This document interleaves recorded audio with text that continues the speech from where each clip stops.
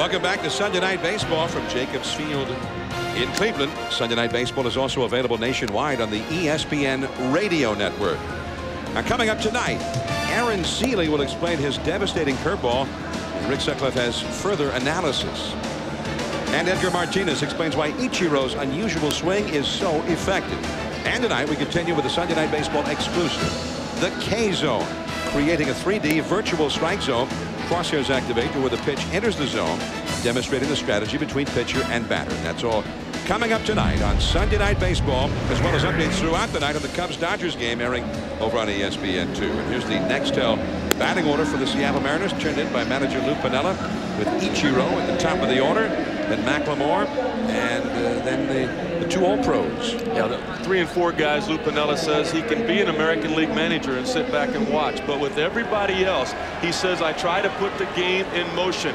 We try to stay away from the ground ball double play, create RBI opportunities for those two guys in the heart of the lineup.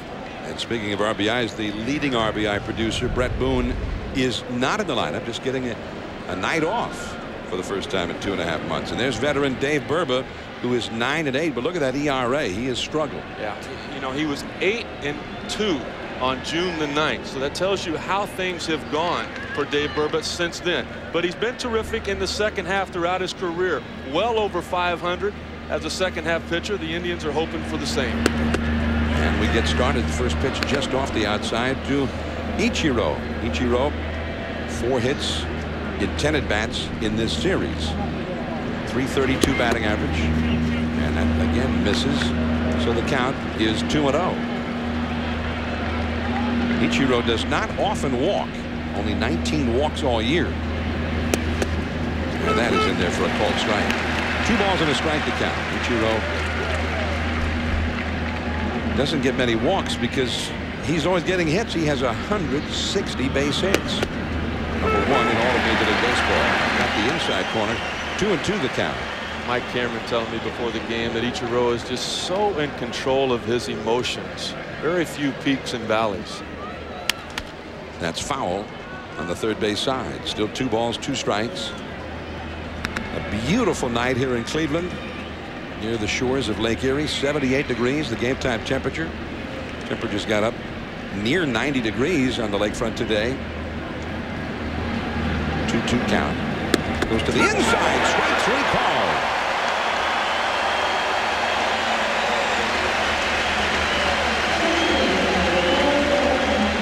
Burba knew on the previous pitch when Ichiro was able to control the fastball just off the outside corner. There's got to be a hole in there somewhere.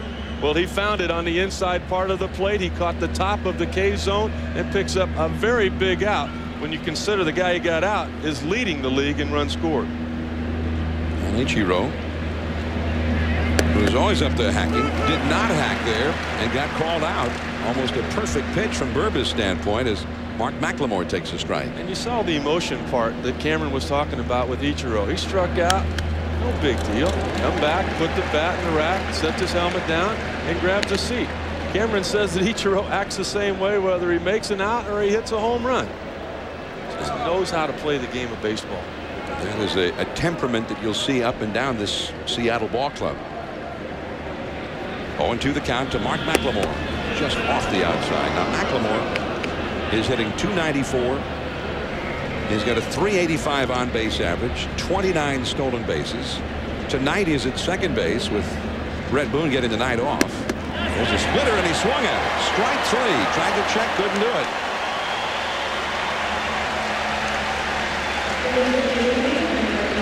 Take a look defensively what's behind Dave Burba and you see a lot of gold gloves up the middle. Four in center field for Kenny Lofton. 17 the second base and shortstop position more than any other double play combination in the history of baseball.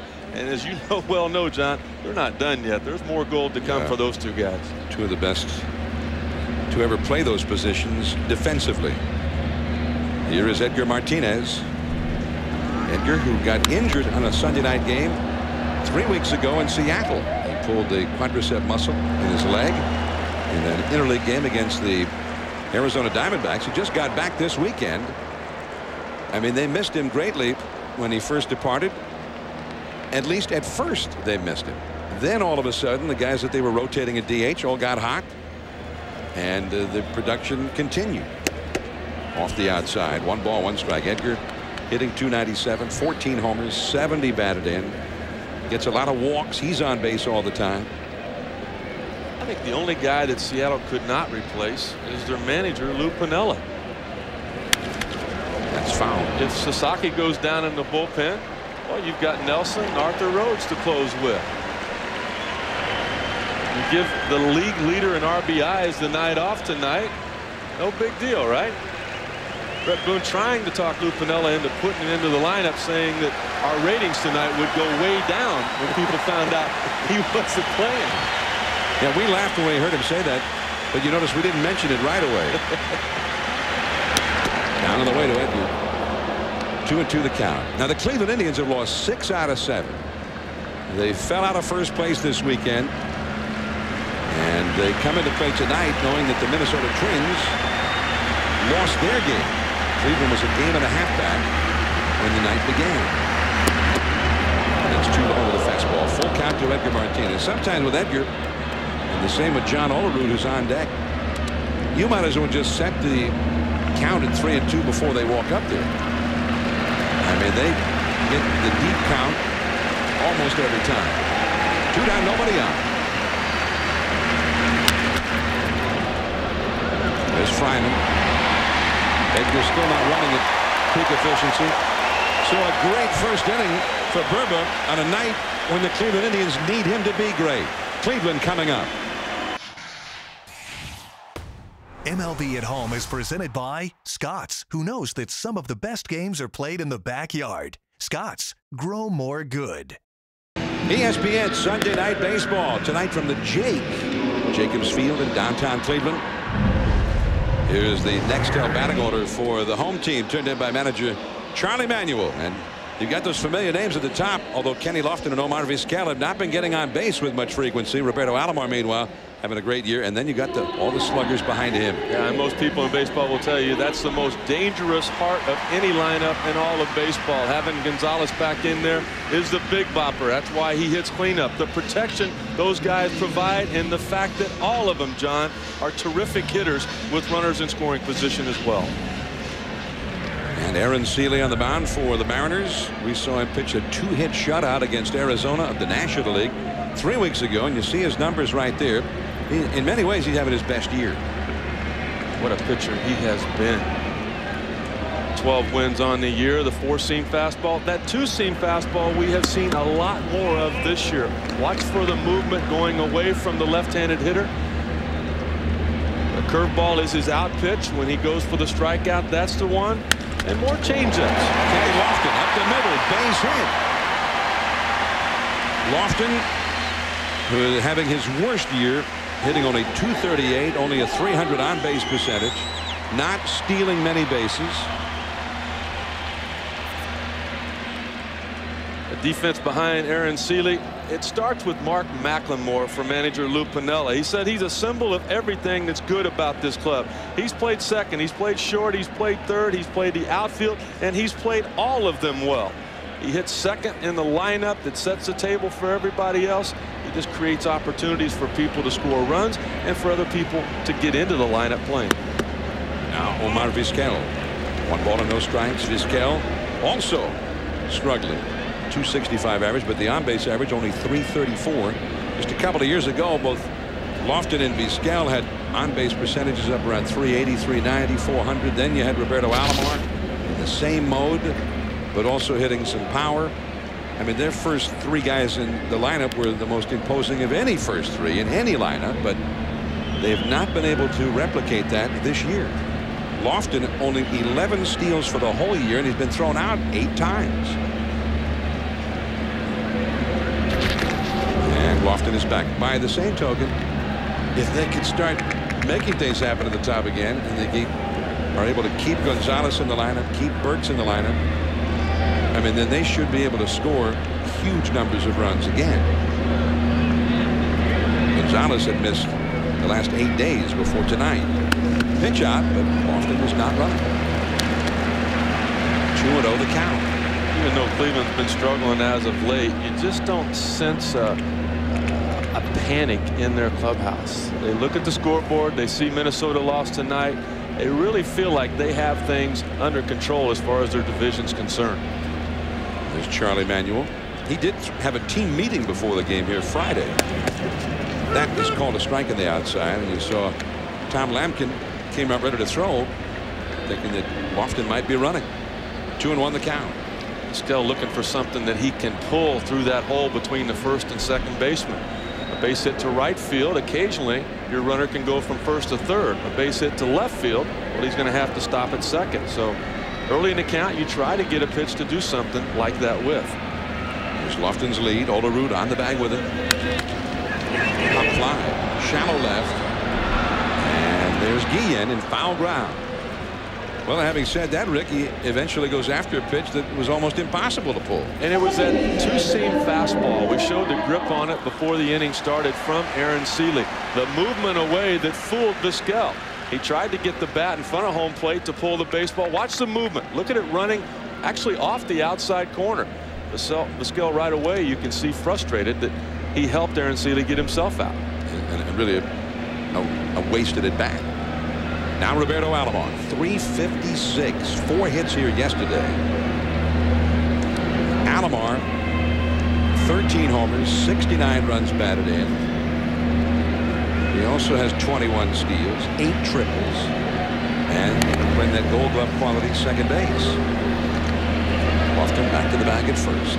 Well, now Vizquel did not move him over is the chances or do the chances of Lofton trying to steal increase? They would for me, particularly with Robbie Alomar at home plate and the way he can handle the bat. Sele misses with a changeup. One ball and no strikes to Roberto Alomar. The big power hitters come up next. Juan Gonzalez on deck. Then Thome, then Burks. Charlie Manuel. You see Gonzalez on deck. Manuel was kind of bemoaning the, the fact that they've only had their regular starting lineup together about five times all year. It's too high. Too up. Now, we're talking about Lofton running because that's been his game for years. But we're told that, I mean, he hardly runs at all right now. Hard to believe. Just five years ago, in 1996, he stole 75 bases. Was a high percentage stolen base guy, but Lofton's still a good player, but he's not the player that he was a few years back. 2-0 the count to Roberto Alomar. Lofton not running. Alomar pops it up. Ichiro the shallow right center. Lofton will have to go back to first. Alomar is gone.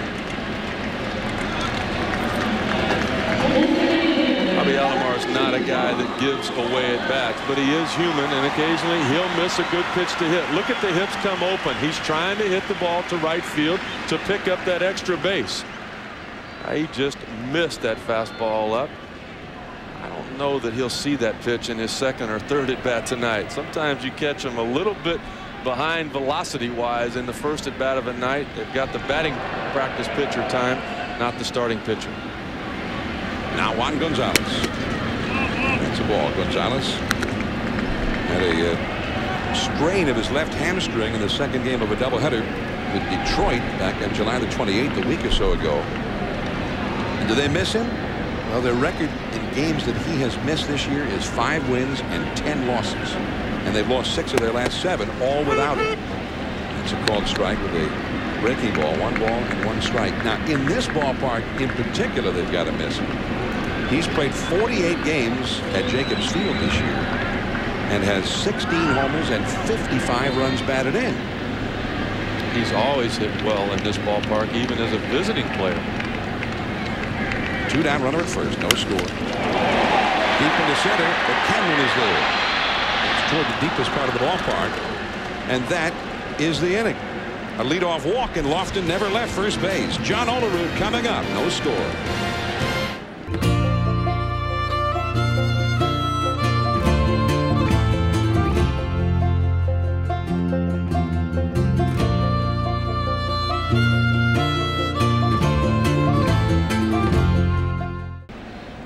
The sun setting off to the west of Lake Erie. I believe that's the west tonight.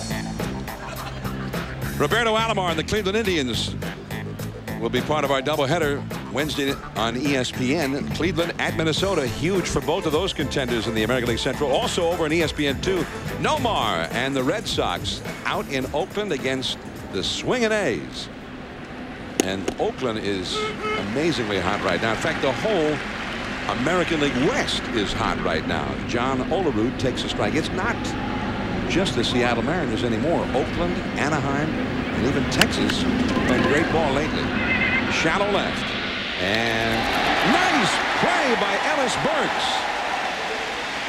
Ellis, for many years, a gold glove quality outfielder. He rarely plays the outfield any longer because of two bad knees. And he will pay a price for that catch tomorrow. But for now, Ellis Burks showing that he can still go get it. Along with those bad knees, John, a swollen right thumb. Ellis saying before tonight's game it's going to hurt him a lot to throw. It's also not going to help to jam that thumb into the ground, totally focused on making this play. Look at him open the palm of his hand and pull that right hand back immediately. He, he's in pain, but you wouldn't know it by the way he plays. Here's Al Martin. Center field, a late break by Lofton, and he does not get it. Martin's going to try for two. Here comes Lofton's throw. The tag. Al Martin. Some of that National League style of ball that Lou Piniella's Mariners like to feature. And the I guess the uh, the late break by Lofton cost him on that one. And and he he got a bad read on this ball. It was hit hard, but if he breaks right immediately, he gets to the ball easily. He did not. Then he tried to dive for it had no chance after he had not taken the first step in the right direction. Look, he was still standing there. He actually backed up a little bit.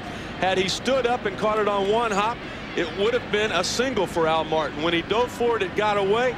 Lou Piniella telling all of his players, don't be afraid to make a difference in whether we win or lose. Be heads up about it, but be aggressive, as Martin was. Now Mike Cameron, that's a called strike on the outside to Cameron. There's a ball hit. Look at him. He's still standing there. He stopped to begin with. That was the point at which he should have stayed stopped. Catch it on the big hop. Keep the double play in order. A couple of mistakes there by a guy that you normally don't see making mistakes defensively. Four gold gloves in center field for Lofton. And the curveball from Burba outside. One ball, one strike. And one thing, too, when you play the Seattle club, you give away a base, and the Mariners have a way of beating you with that one base you gave them. I mean, they they go take those extra bases often enough as it is. With nobody out or one out, very seldom does Lou Piniella's team leave that runner standing on the base that he started on. On the other hand, Cleveland not as good of a situ situational hitting team as the Mariners, but they don't have to be because they've got so much more power. Kenny Lofton getting on to start the bottom of the first inning with a single, ended up standing at first base which is another difference in his game right now. Two and one the count to Mike Cameron. He was one of the Mariners All-Stars and the American League All-Star team. Fouling one back and out of play. Catcher Einar Diaz of the Cleveland Indians wearing mask cam tonight. And we're very pleased that he decided to do so to take us right into the action right in the home plate area there. Cameron 17 homers 69 batted in 23 steals gold glove quality center field play. He's got Mark out there at second base right now as we look at the action from mask cam high in the air left center field deep. Burks going way back Lofton going way back. This one is high off the wall Burks plays the carom Martin will score Cameron will stop at second and the Mariners have a one to nothing lead Al Martin with another terrific job of base running. Rather than tagging, he continued to drift towards third base. And when he saw Ellis Burks turn his back to play the ball off the wall, it was easy for him to score. And Mike Cameron just simply trading places with him with the first run here. Ball elevated. That's the game plan against Dave Burba. Get a fastball up in the zone his velocity has been down. Seattle reports that earlier in the year he was throwing in the low 90s. He's just touching the mid to upper 80s at this point in the season. Now Carlos Guillen Guillen a switch hitter, 253 average. Four homers, 43 batted in. Fastball low, but too low. One ball and no strikes. You got the big wall out there in left field. That one just kind of scraped off the wall. But there also is a rubberized warning track out there. Cameron was talking about that before the game that says that's one of the real hazards of playing the outfield up against that left field wall. If a ball comes off that wall and hits that warning track, it can really shoot right by it. Burks backed up Lofton on that play to keep that from happening. Burks makes the grab in left center on this one. Guillen retired. Cameron Holden at second base. Two down. Watching the ball carry in batting practice, you can tell by the way the wind's just slightly blowing from right field to the left field line. It will carry to left center and to left field as that ball did that Mike Cameron hit. You hit that same fly ball to right center field. Uh, that wind's going to hold it up. It'll be a routine play. Two down, and here is David Bell. Now Bell kind of typifies what's going on with this ball club. I mean, his overall numbers are not very good. Only 249 batting average. 11 homers, 50 batted in. But you put a runner out there at second base like you've got right now, and he's a whole different hitter. He has been particularly effective in spots like this. Time taken. David Bell is hitting 323 with men in scoring position. You, know, you talk to the Mariner players, Jamie Moyer in particular, saying that David Bell has had a terrific year. He got off to a slow start, but this guy was almost an all-star. I mean, until a late rush from the fans voting for Cal Ripken Jr., that would have been David Bell's spot. Down and away. Huge contributions. Jamie Moyer saying he made a great defensive play on a ball hit hard by Kenny Lofton in Friday night's game. It helped Jamie and the Mariners win that ball game. Clutch hits, as you mentioned, with runners in scoring position. And as everybody on this Mariner team, good defense. Two balls and no strikes now. Burba falling behind Bell. A left-handed batter, Tom Lampkin, is on deck. Just typical Cleveland. Even in the first inning when they went one, two, three, Dave Burba had to throw 16 pitches to get that done. Seattle working the count. It's going to take its toll. Eventually you get into the bullpen.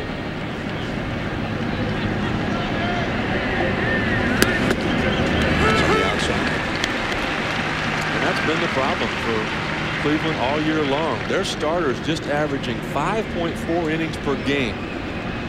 That's the fewest in all of baseball.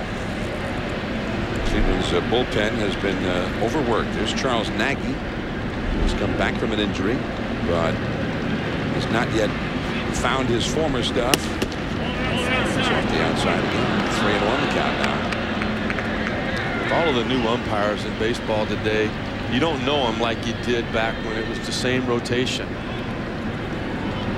Both of these veteran starters tonight trying to get home plate umpire Jeff Nelson to give something on that outer half. To this point, he has not. Three and one the count. Runner at second. Two down.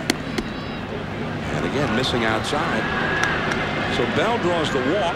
Now he's going to have to face a left-handed hitter. And as many problems as Burba has had this year, he's had even more problems against left-handed hitters. Left-handed hitters hitting an astounding 373 as a group against Dave Burba as he and Einar Diaz talk it over at the mound.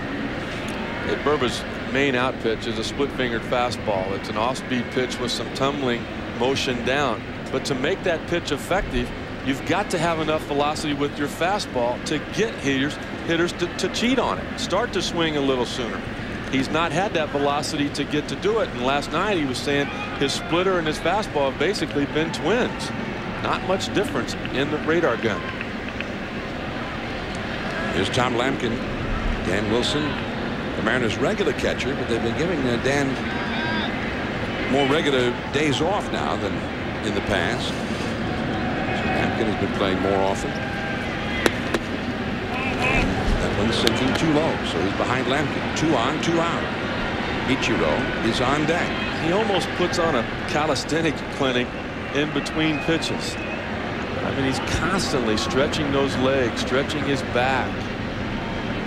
Always in motion, as is Seattle's offense. A strike with a changeup. One ball, one strike now to Lampkin. A run is in for the Mariners. They lead one to nothing. There's Cameron, who hit the double off the left center field wall to drive in Al Martin, who had doubled. And Bell, who walked, is over at first base. Ball on the strike. And the splitter. One and two to count. Lampkin not showing the patience that the rest of the guys in his lineup have done. Here comes the splitter. You can see the grip, the tumbling action. Lampkin expanding that zone. If you continue to do that, you'll see the Dave Burba that won 15 games two years ago, 16 games last year.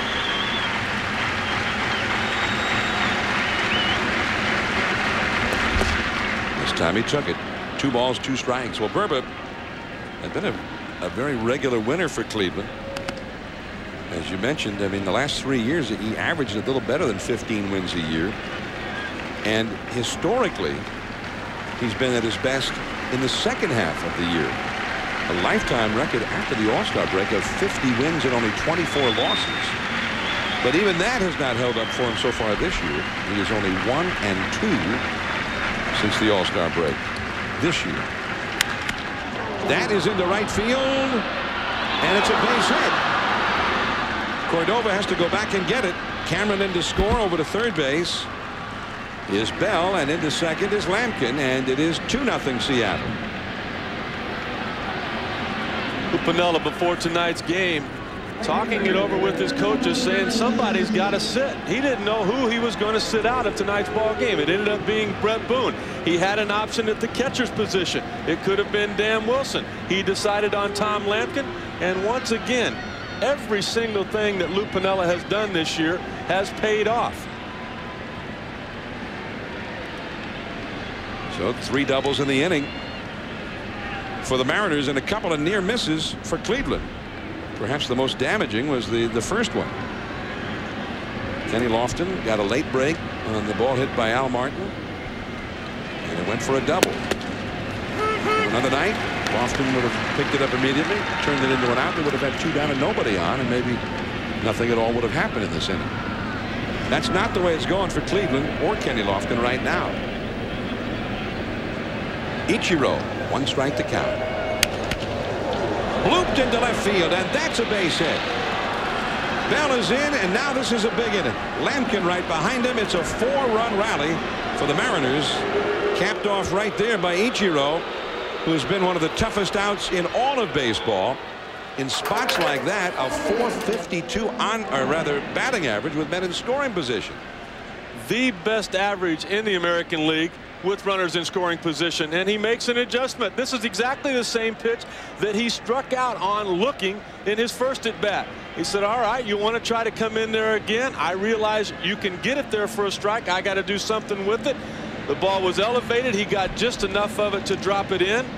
The third double of the inning but not forget do not forget probably the biggest at bat was the base on balls drawn by David Bell. He just battled. He didn't give away his out. It kept the inning going. And as you said, John, it's a big inning now for Seattle.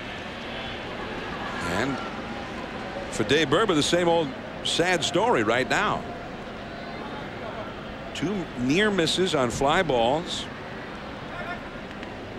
And now the bloop single by Ichiro. I mean, they haven't exactly been hitting shots all around the yard, but they got four runs on the board. And Ichiro, a threat to steal, he has 38 stolen bases this year. I'll be real surprised if he sticks around for more than a pitch or two. Burba, one of the easiest pitchers in baseball to run on. Opponent successful in 16 out of 18 stolen base attempts.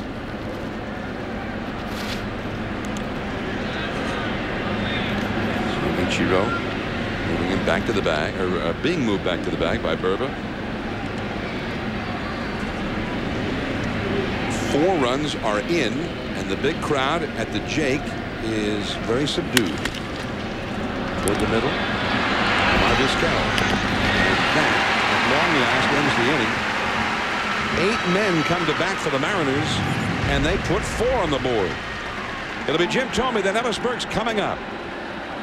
Seattle four, Cleveland nothing. Last of the second, and that view of Jacobs Field from one of America's most enduring corporate images, the blimp Spirit of Goodyear floating overhead. Goodyear asks the question, "Have you checked your tires today?" We're glad to have them with us on Sunday Night Baseball as Jim Thome takes ball one. And Jim Thome had a month of July for the books. Big curveball from Sele misses two and zero the count. He won the Triple Crown in the American League for the month of July, if there is such a thing. And he led the league in batting average, home runs, and RBIs in the month. 12 homers in the one month. A McGwirean pace, or maybe Bondsian, or Sosa Sosa Sosaian. That's that's a harder one, isn't it? Well, the and oh one the count. thing all three of those guys have in common is that they have tremendous strength. There, there's people that are strong, and then there's this kind of strength that Jim Thome has. Three and oh the count. And he poured it right in on the inside corner. Three and one. Thome 34 homers to lead the league for the year in that category. He was off to a real slow start in April as well. Three and two. The high hard one. And there's a real good chance that with out the four runs in the top of the second, Sele might have gone to something else. But he's got the lead. He knows the worst thing he can do is walk Jim Thome in this situation. Just missing on the inside. Ball four to Thome. Now, over on E ESPN2, it's the Cubs and the Dodgers at Dodger Stadium. Let's get an update down with Brent Musburger at Dodger Stadium. Scoreless in the bottom of the second. Karros and then Marquis Grissom do up. The big play of the game, the defensive play by Mark Grudzielanek saved Chicago. I should cost him two runs as we go back to John. All right, thanks, Brent. So we'll keep you posted on that ball game at Dodger Stadium. Dodgers need a win to stay in first place in the National League West. The Arizona Diamondbacks only a half game back of them, and Arizona won its game at home against the Mets. The Giants were one game back of the Dodgers, and they won their game over the Phillies. So things are awfully tight in the National League West. Ellis Burks hits a double play ball, and there it is. Guillen to McLemore to Olerud. Two down, nobody on. All about location. If you can make one good pitch on that pitch, you can get two outs. Sele knows that. It has to be down. It needs to be away when you've got the power of Ellis Burks. He helped Sele out by trying to pull that pitch, the routine ground ball. And just exactly what Aaron Sele was hoping for. Two down, nobody on. Marty Cordova. And that's a ball outside. Ellis Burks just back from the disabled list, but Ellis has gone 70 at bats with only two RBIs. So he had cooled off a bit before the injury. He got hit by a pitch by Octavio Dotel of the Houston Astros. I guess that makes it even worse, doesn't it? Oh. Not even a guy from your league puts you on the disabled list. I got to look at that thumb today too. It's it's amazing that he's out there trying to play. He said the thing that hurts the most besides throwing is to get jammed. And he might have started that swing a little bit early to prevent that from happening. Ball in the outer half. Doesn't usually make those kind of mistakes with the bat in his hand. Two and two down to Cordova. That's why. I mean, this game is is a hard game, especially when you're talking about hitting. I mean, little things can take a guy out of his game subtly, but just enough to uh, to throw him off in a big way. It's so hard to succeed at this level when you're 100% healthy, let alone when you're less than that. Marty Cordova resurrecting his career Cleveland, and he hits that curveball through the middle for a base hit. Cordova, who came into the game hitting 316 for Cleveland, so he's aboard. Meanwhile, we want to tell you about the Little League World Series presented by Honda. ESPN and ESPN2 will be bringing you 31 games from the Little League World Series. Coverage begins this Saturday with the Southeast Regional Final at 6 Eastern, 3 o'clock Pacific time on ESPN2. For more information, log on to ESPN.com. Did you play Little League? Oh, yeah. Were you any good? Yeah. Were you 6 We're- foot 7? Weren't we all? 0 1 the count to Travis Fryman. Fryman, I mean, probably was Cleveland's best player all round last year. Defensively, strong bat. Got hurt early this year and has not really come back. That curveball snapped in there for a called strike. They're hoping that he's about to break through, though. Fryman has homered twice in the last three games. His only home runs this year. He's still having trouble extending with that elbow. Seattle knows that well. The home run he hit yesterday was on a mistake. A fastball up and in. He just threw the head of the bat on it, got it elevated, eventually out of the park.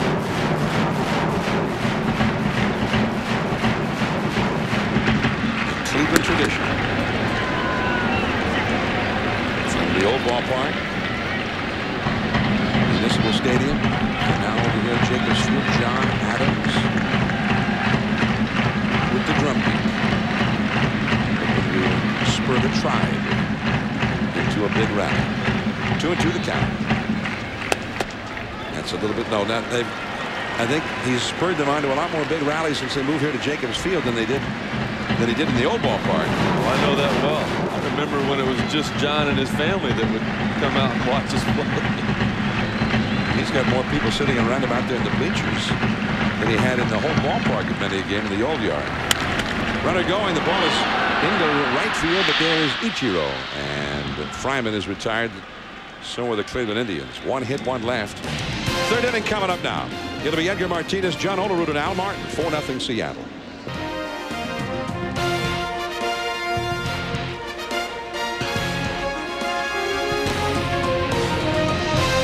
The Terminal Tower off in the distance. A landmark in downtown Cleveland near the more recent landmarks, Gund Arena and, of course, Jacobs Field. There's been a lot of great baseball played in this yard since it opened in 1994. Here is Edgar Martinez for the Mariners. Big curveball from Dave Burba for a called strike as we view the pitches from the dead straightaway center field camera. Give us a nice view of, of the actual movement of pitches and, where they pass the plate. There's a ball down and away. A fastball missing. One ball and one strike. So you've got Edgar, the third place hitter, then Olerud, but not Bret Boone.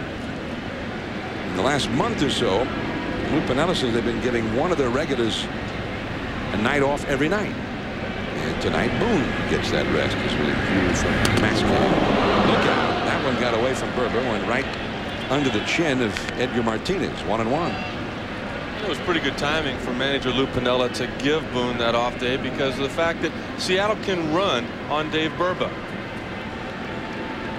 Bret Boone a little bit banged up, but as Lou Piniella said before tonight's game, he said, I'm going to have one of the coaches tell him he's not playing tonight because I know he's not going to be happy. There's a ball down and away. Three and one the count. Lou, he wants to give uh, the regulars some regular rest for the stretch run. One of the luxuries of being 20 games ahead instead of being, say, Cleveland spot a game and a half out.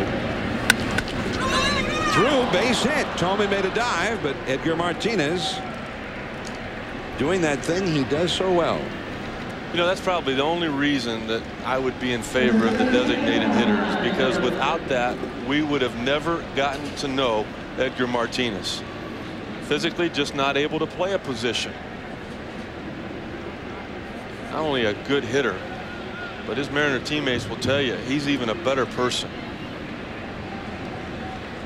Now, Edgar used to play third base, but he kept getting hurt.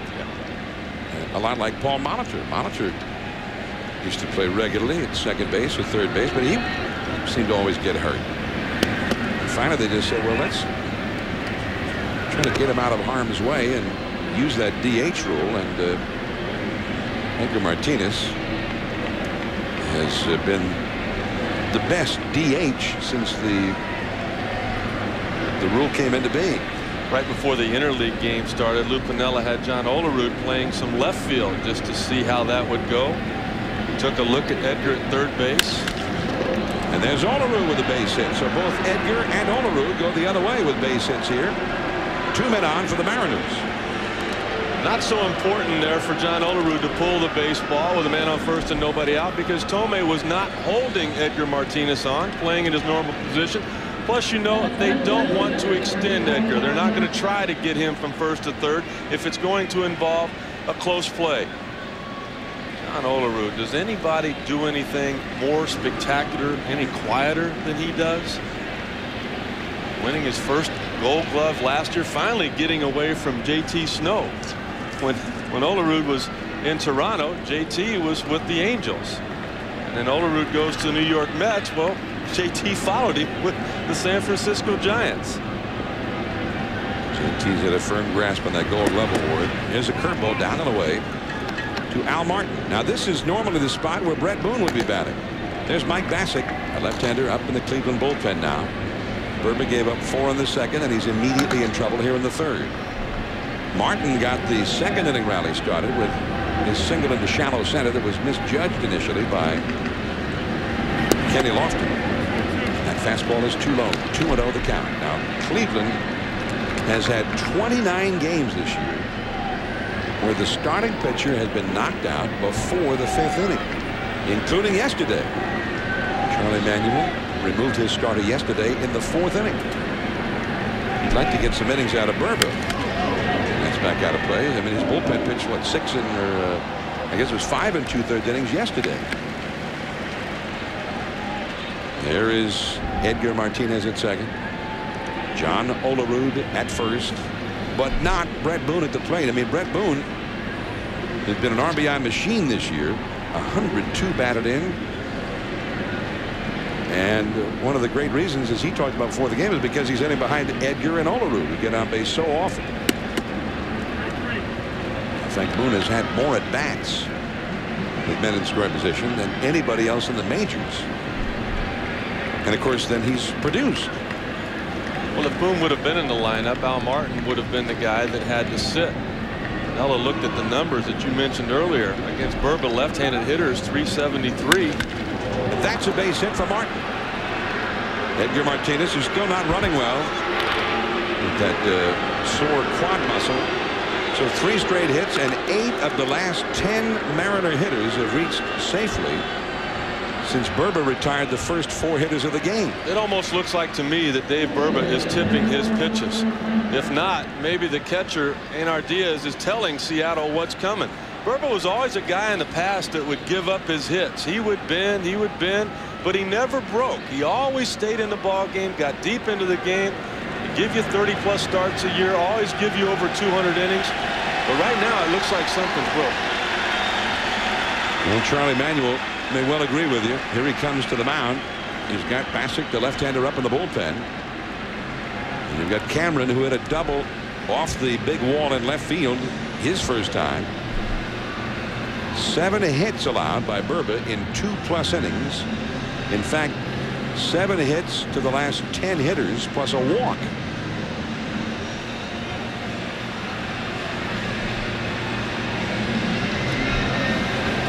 Three singles in this inning.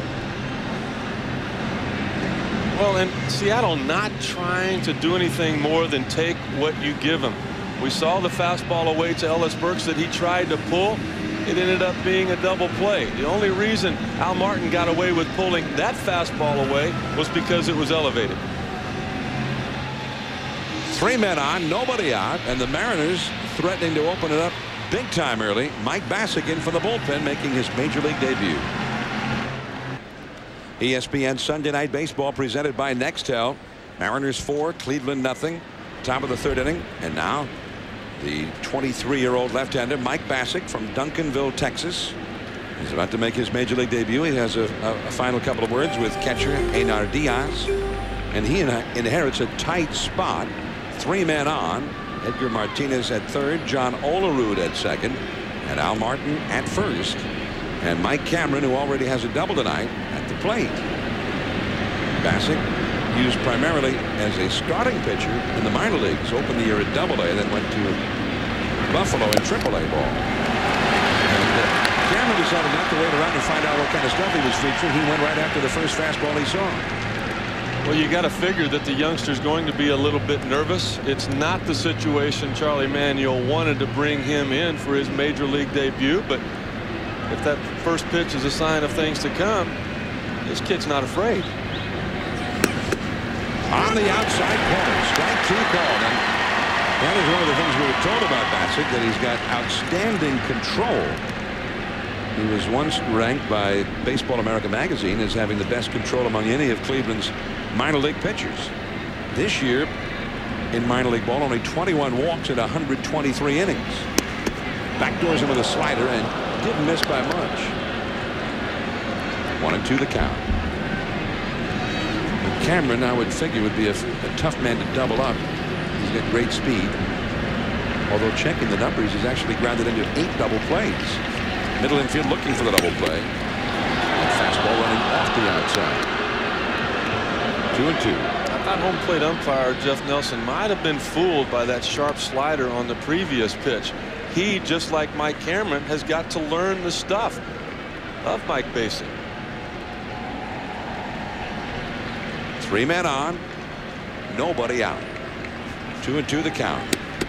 And again, down and away, full count. Now you got to go back to what he did on that first pitch you got to challenge him. And Cameron's got just enough power to put up another four spot here in the top of the third as they did in the top of the second. Guillen, a switch hitter on deck. Three and two. Deep into left center field. And way back there. That is off the top of the wall.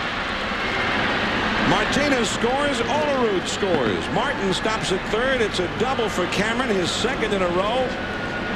And he almost put up a four spot on that one. Six to nothing Mariners. And Cameron with two doubles and three batted in already. He had three opportunities to try to nail down the outside corner in the third strike to Cameron. When he missed with all three, he had to go back to square one. He centered the fastball. Cameron missed that same pitch on the first pitch of the at-bat. He did not miss that one. And just an outstanding job by the third base coach, Dave Myers. He knows that Edgar Martinez is going to score. There's Olerud. He's sending him. Now he puts up the stop sign immediately. Had he been any further down the line, Al Martin might have followed John Olerud and been thrown out at home. Now the infield comes in as Carlos Guillen switching around to bat right-handed now. He's a switch hitter. Takes a curveball for a strike. Six to nothing. Seattle in the third inning.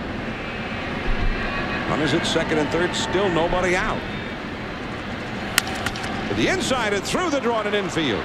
Martin will come in to score and being waved home is Cameron and he will score as Burks throws into second. And it is eight to nothing Seattle. They've had five consecutive hits to start the third inning. They just don't give you strikes or outs. They battle for everything they can possibly get. They know that manager Lou Piniella has a lot of options. You don't play well, or in particular, you don't play the game right. You're out of position defensively. You don't hustle. You swing at the same pitch over and over again. He's got options to go to. When you get an opportunity to play for Piniella, you better play well, and they are. Not David Bell. He walked his first time. That's a foul out of play. 0-1. So Bacsik he got a couple of quick strikes against Cameron, but then could not put him away. Is still looking for his first out as a big league pitcher. The Mariners tonight in their at bats with men in scoring position have had six hits in seven such at bats. Six for seven. Way outside. One ball, one strike. Well, now things will settle down for Mike Bacsik here. He had the bases loaded. You were out of your environment. Your adrenaline was going crazy. Then on the next at bat, you had the infield in. You had to try to get a ground ball. You got it, but it wasn't at anybody. He's more comfortable here. There's a changeup. We'll start seeing the whole repertoire of the young left-hander. Lou Piniella said tonight, he says, well, we'll see what our lineup looks like without our big RBI guy. Well, they've uh, they've masked his absence pretty well. Eight runs on the board. We're only in the third inning. And another base hit. A low fastball that might have been out of the strike zone. Two men on, still nobody out. And here's an update from L.A. with Bill Pidto. All right, John, as Nextel takes us to L.A., the Cubs and the Dodgers scoreless game here in the third. Gary Sheffield. Delino DeShields giving chase. It's a ground rule double, driving Paul Lo Duca, who also had a ground rule double. And the Dodgers trying to hold on to first place, lead at one zip. Thanks, Bill. And again, we'll keep you posted on that ball game, which is being uh, televised over on ESPN2, the Cubs and the Dodgers. Cubs leading the National League Central at the start of the day, three, or rather, two and a half ahead of Houston, and Houston won its game today. Well, that one hits Tom Lampkin, and so the bases are loaded. So 12 of the last 14 Mariners, including the first seven of this inning, have reached base. As we view that one from mask cam. Now you're supposed to try to get out of the way. Looked to me like he actually moved in the way in that one, didn't he? If that was a fastball, he might have moved, but he knows that's an off-speed pitch. It's not going to hurt. The only thing it's going to hurt is the ERA of Mike Bacsik and also that once again of the Cleveland Indians pitching staff. Dave Burba, two plus innings tonight, charged with seven runs and seven hits. You know, that's the frustrating part for me as a young broadcaster. I did all of this work on Dave Burba today. I talked to all of these guys. I've got all this great stuff, and and he's gone. Well, well, let, us hear it. Let's hear some of the great stuff. he was traded for Sean Casey. You know, he's been parts of some big name trades. He was traded for Kevin Mitchell, Deion Sanders. They're much bigger names than that. But he's gone. Now you can't use that stuff. that curveball is in there for a strike to Ichiro, who is one for two. Those would have been great notes to have if he was still in the game. I feel bad for you that you can't use them. Called Rick today, asked if he wanted to go out to lunch. No, I've got a lot of notes I'm writing up. Here's Ichiro hitting a high drive into left center. Lofton tagging Guillen from third. He'll score. Also tagging Bell from second. He moves to third. That makes it a five-run inning. And it is nine to nothing as Ichiro gets his third RBI of the game with the sacrifice fly. It also is the first out of the inning. This guy is just not intimidated by anybody. Left-handed pitcher, right-handed pitcher, facing the big unit to start the All-Star game off with, getting a base hit. Look at the head down. All the movement from down below but no movement with those hands until he has made up his mind. He's seen the baseball, and it's something that he can handle.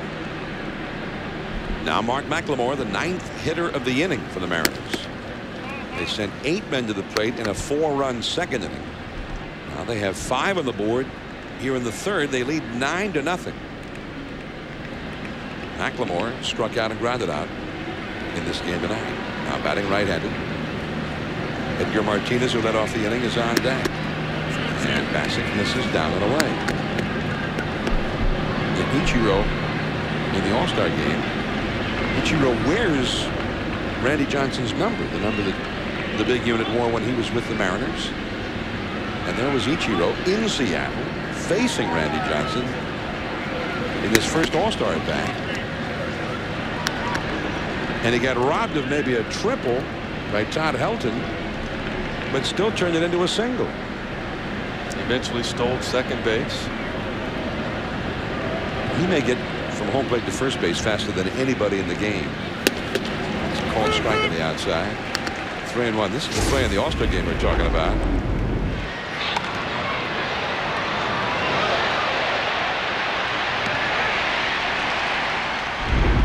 That's pretty quick remember watching him in spring training, the very first game of the spring. And he hit a ground ball to shortstop, a routine two-hopper. It was bang, bang at first.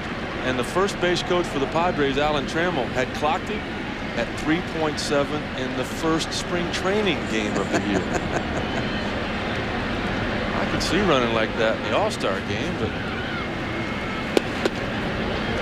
Nope, a little bit low. So it's a walk to McLemore, and that reloads the bases. Now, right now, Charlie Manuel didn't have many options. In yesterday's game here, he ran through his bullpen five and two-thirds innings worth.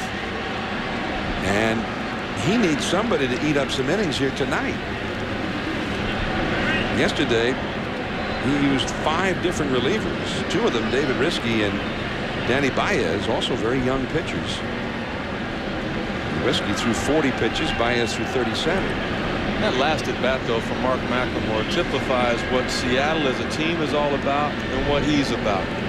He could have taken a swing at that ball. It was close enough to put a bat on it.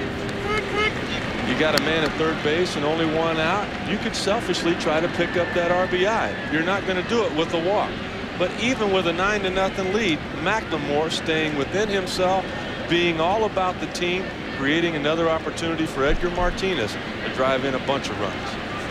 Edgar started this rally with a single. And he could not lay off that breaking ball down and away. 0-2 the count with Bell at third base. Lampkin at second. And Mark McLemore over at first. Cleveland already trailing nine to nothing in the third inning. They were beaten here on Thursday by Oakland 17 to 4. Inside. Didn't miss by much there. One ball, two strikes. Oakland, in fact, in taking two out of three from them here, scored 33 runs in the three games. Scored 11 runs in the first game in, and 17 in the getaway game on Thursday. Cleveland having trouble in its own ballpark for the first time.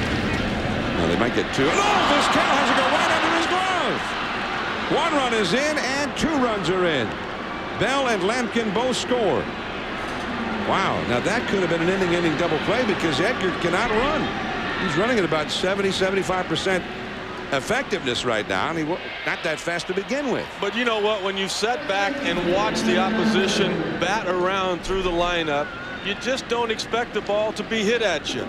Omar Vizquel, we've seen him make that play a hundred times. It's a simple double play for him. But you just get out of your focus. You're not ready. You're not anticipating the ball being hit at you. You're anticipating another ball hit off the wall, another base on balls, and that's when things like that happen. Well, the official score apparently didn't feel like he's seen him make that play very often because he gave Edgar a base hit on that one. No idea. Is that right?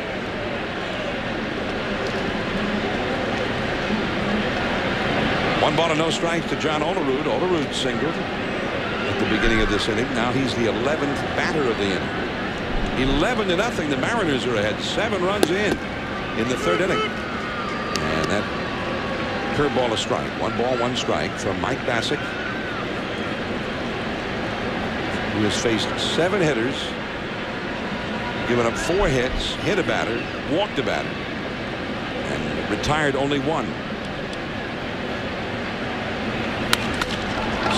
Down the right field line, but foul. And the one guy he was able to retire was Ichiro, who hit a ball to the warning track in left center field that resulted in a sacrifice fly and an RBI.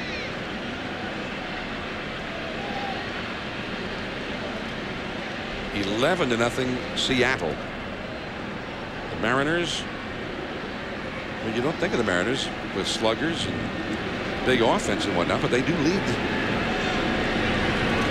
the American League in run scored. One and two the count. That one gets through. Just past Roberto Alomar. Here comes the throw in, cut off by Thome. McLemore scores. Martinez to second. It is 12 to nothing, and the fans are very unhappy.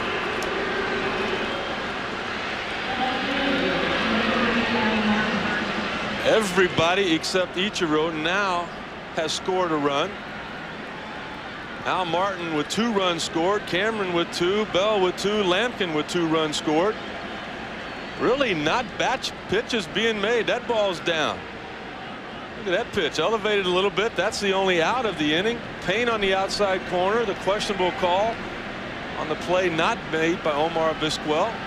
And Mike Bacsik has got to be saying to himself, you know, I, I made these pitches in AAA and, and got people out. Well, you're going to get a lot of people out in the big leagues with those pitches, but you're not going to get the Seattle Mariners out the way they're hitting, swinging the bats now. So a rough greeting to the show from Mike Bacsik. 23-year-old left-handed. Diaz knocking that ball down. Bacsik so far has been charged with five runs in one-third of an inning. Five runs to his own record. He's been charged with five hits. He's walked one and hit one. Al Martin is two for two in this game. He's singled to load the bases. And that's foul off the third base side. One ball and one strike. And there's Aaron Sele. A little bit overkill for Aaron. I mean, he's 12 and 3 with a 3.41 ERA, but something about Sele seems to bring whatever team he's pitching for, seems to inspire their offense.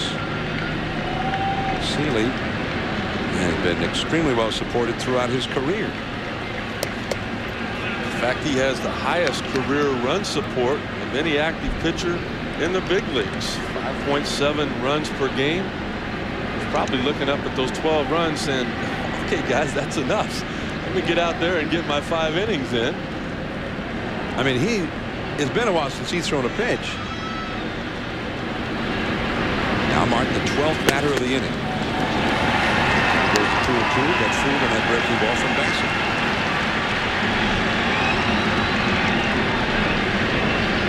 Sele retired Travis Fryman in the second inning to end the inning at 8:49 Eastern Time, which was 30 minutes ago.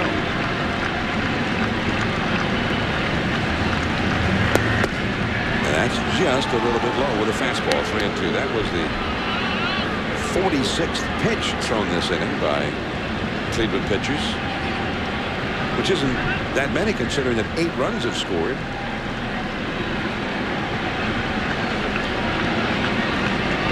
Edgar Martinez, John Olerud with two hits apiece in the inning. Martin's got one. And he is down on strikes in the curveball. Out number two, and a sarcastic ovation from the big crowd at the Jake.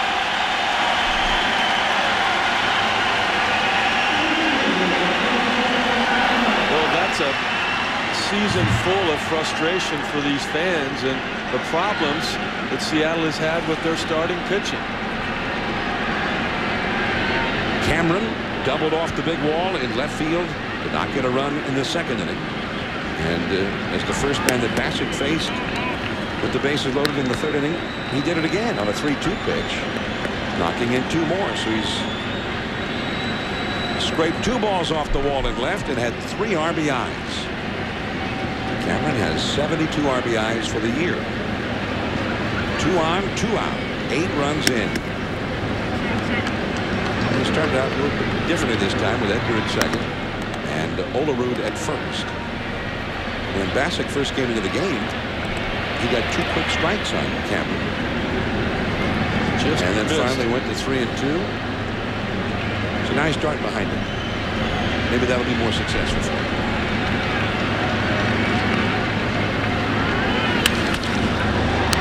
Look at that. Get behind him, have him hit one 180 miles an hour to Omar. Eight runs. It is 12 to nothing. ESPN Sunday Night Baseball presented by Nextel. Mariners 12, Cleveland nothing. Coming up tomorrow night, 8 Eastern, 5 Pacific on ABC from Canton, Ohio. The Hall of Fame game. It'll be the St. Louis Rams and the Miami Dolphins. Marshall Faulk, leading the Rams, quarterback Jay Fiedler, and the Dolphins. Here is Einar Diaz, on one to count as he faces Aaron Sele. Sele with a 12-run lead.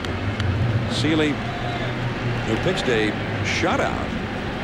In fact, it was one of the best games of his career. A two-hit shutout right after the All-Star break on Sunday Night Baseball against the Arizona Diamondbacks of the National League. That was his 11th win, and then he pitched a shutout in his next start after that. But since then, he's lost a couple, so he's trying to snap a personal losing streak here tonight. And at the same time, win his 13th. This Mariner rotation already with a 13-game winner in Freddie Garcia. He got number 13 yesterday. That's Freddie. And he's got the kind of stuff. I mean, you talk to his teammates who say, hey, Freddie Garcia's got a chance to be one of the top pitchers in this game. Good.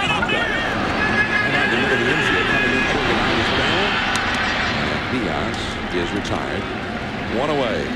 Now, over on ESPN2, it's the Cubs and the Dodgers. Let's get an update of that game. Here's Brent Musburger.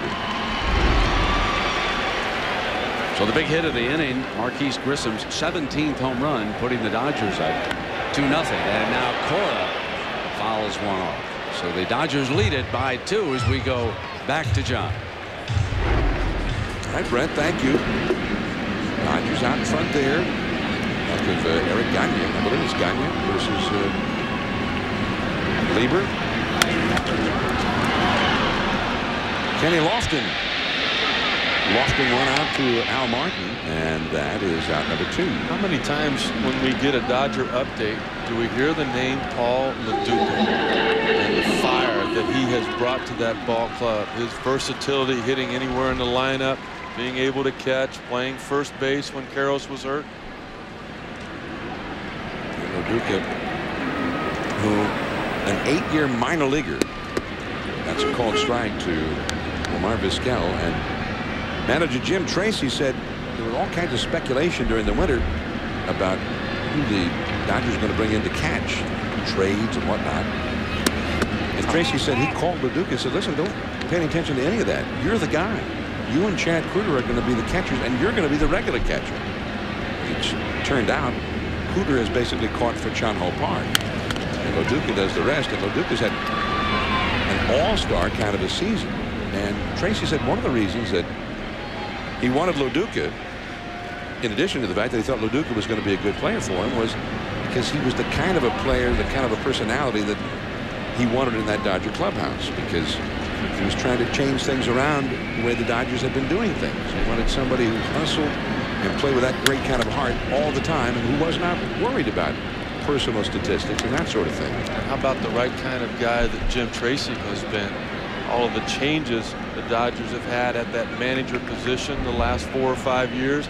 The stability that they had in the past, Walter Alston and Tommy Lasorda, looks like that stability is back.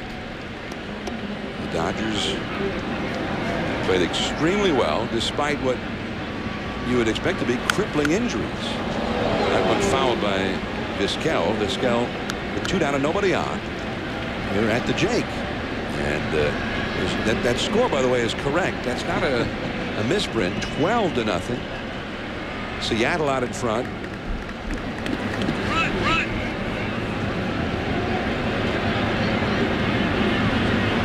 Yes, sir.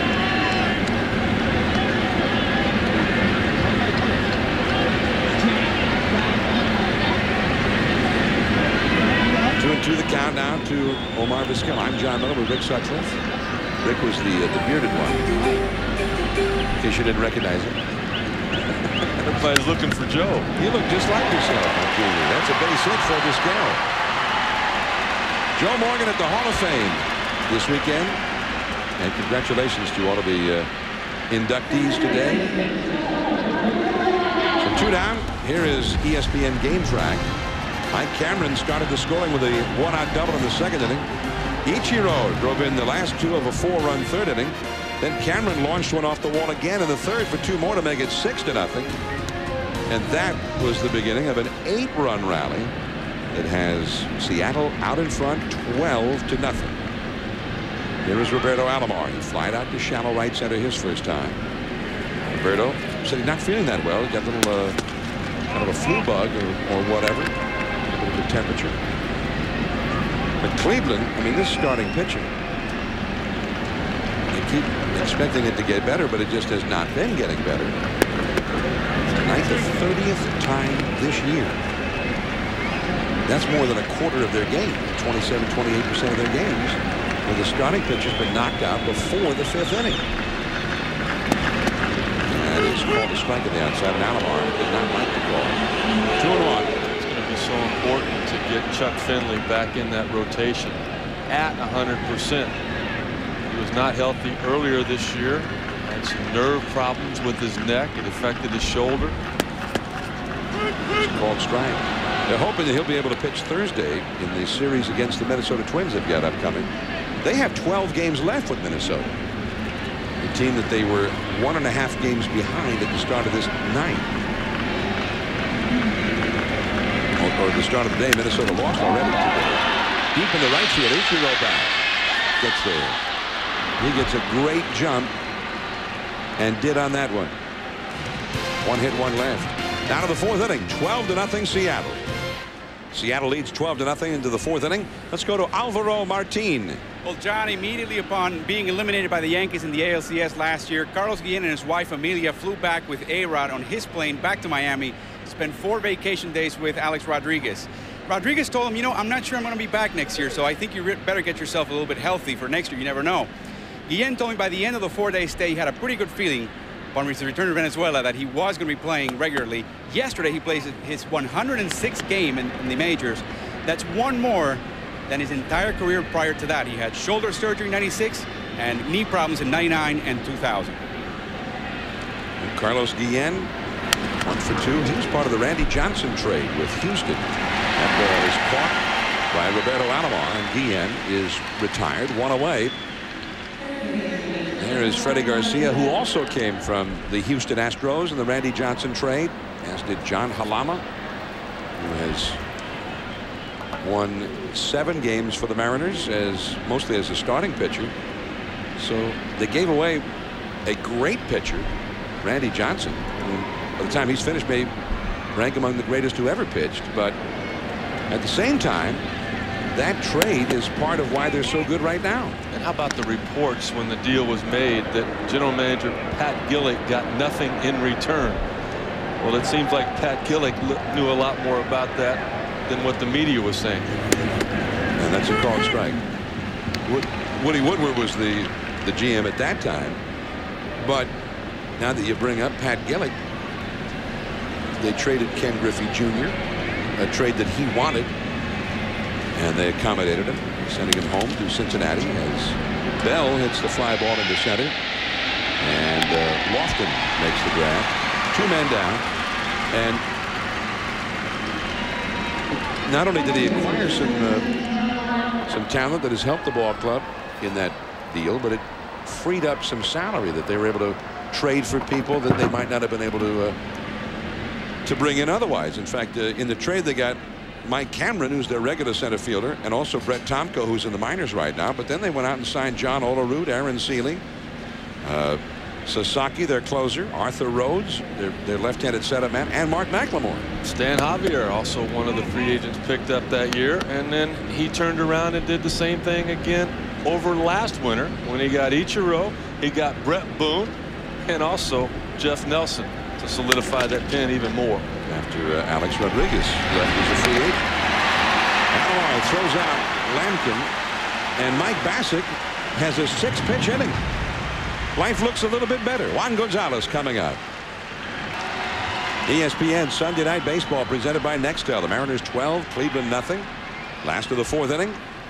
Aaron Sele got the huge lead. And has a three-hit shutout working. Juan Gonzalez leads off, then Jim Thome and Ellis Burks. Now, ordinarily, this would uh, promise to be a, a real tough inning for any pitcher, but Sele got a 12-run lead. He, uh, can pitch confidently no matter who's up right now. Gonzalez lined out to center his first time. the left center field. Cameron has to play this one off the wall. Bare hand pickup. And Gonzalez, remember, he's got the hamstring strain, still not running at peak efficiency, holds with a single. They were the second best defensive team in baseball last year, being the Seattle Mariners. Cleveland was better, but they're the number one defensive team this year. Not only do they not make errors, but they take bases away from teams. Ichiro with an outstanding play on Robbie Alomar's drive. And a terrific play here by Mike Cameron. He couldn't get to it. The perfect angle, bare hands the ball, the strong throw, it's on its way. And Gonzalez had to pull up at first base. Jim Thome, he walked his first time. And that curveball is in there for a called strike. Well, I mean, you look all around the field. And we've got Olerud, who's so solid at first base. David Bell, who's been outstanding at third base. Ichiro, who may be the best right fielder in the league. And Cameron, who's as good as it gets in center field. Bret Boone has always been an outstanding second baseman, although he's not in the lineup tonight. Former Gold Glove winner. Curveball misses. Two balls and a strike to count to Jim Thome. And some of the Mariners were saying before the game that they think Mark McLemore deserves a gold glove. I said, what position? They said, at six different positions. Which could be a first. Three and one the count. Although when you get a guy like McLemore, uh, you know, Tony Phillips, I remember, was one of the, the guys who played every single day, but could be anywhere in the field on a given day. So not a regular player, but in a utility mode, in effect. McLemore's doing that now. Maybe a guy like that who's outstanding in the field, maybe they need a new category. Oh, another thing. glove. Or kind of like the six man in the NBA kind of thing. That one is hit high in the air, deep in the right center field. Cameron and Ichiro, and gone, a home run. Number 35 for Thome, extending his American League lead.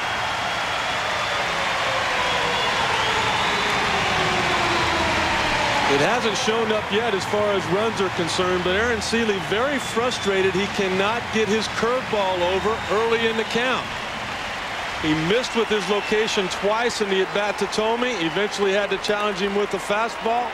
And Jim Thome just does not miss many pitches when he's in a good streak as he is now.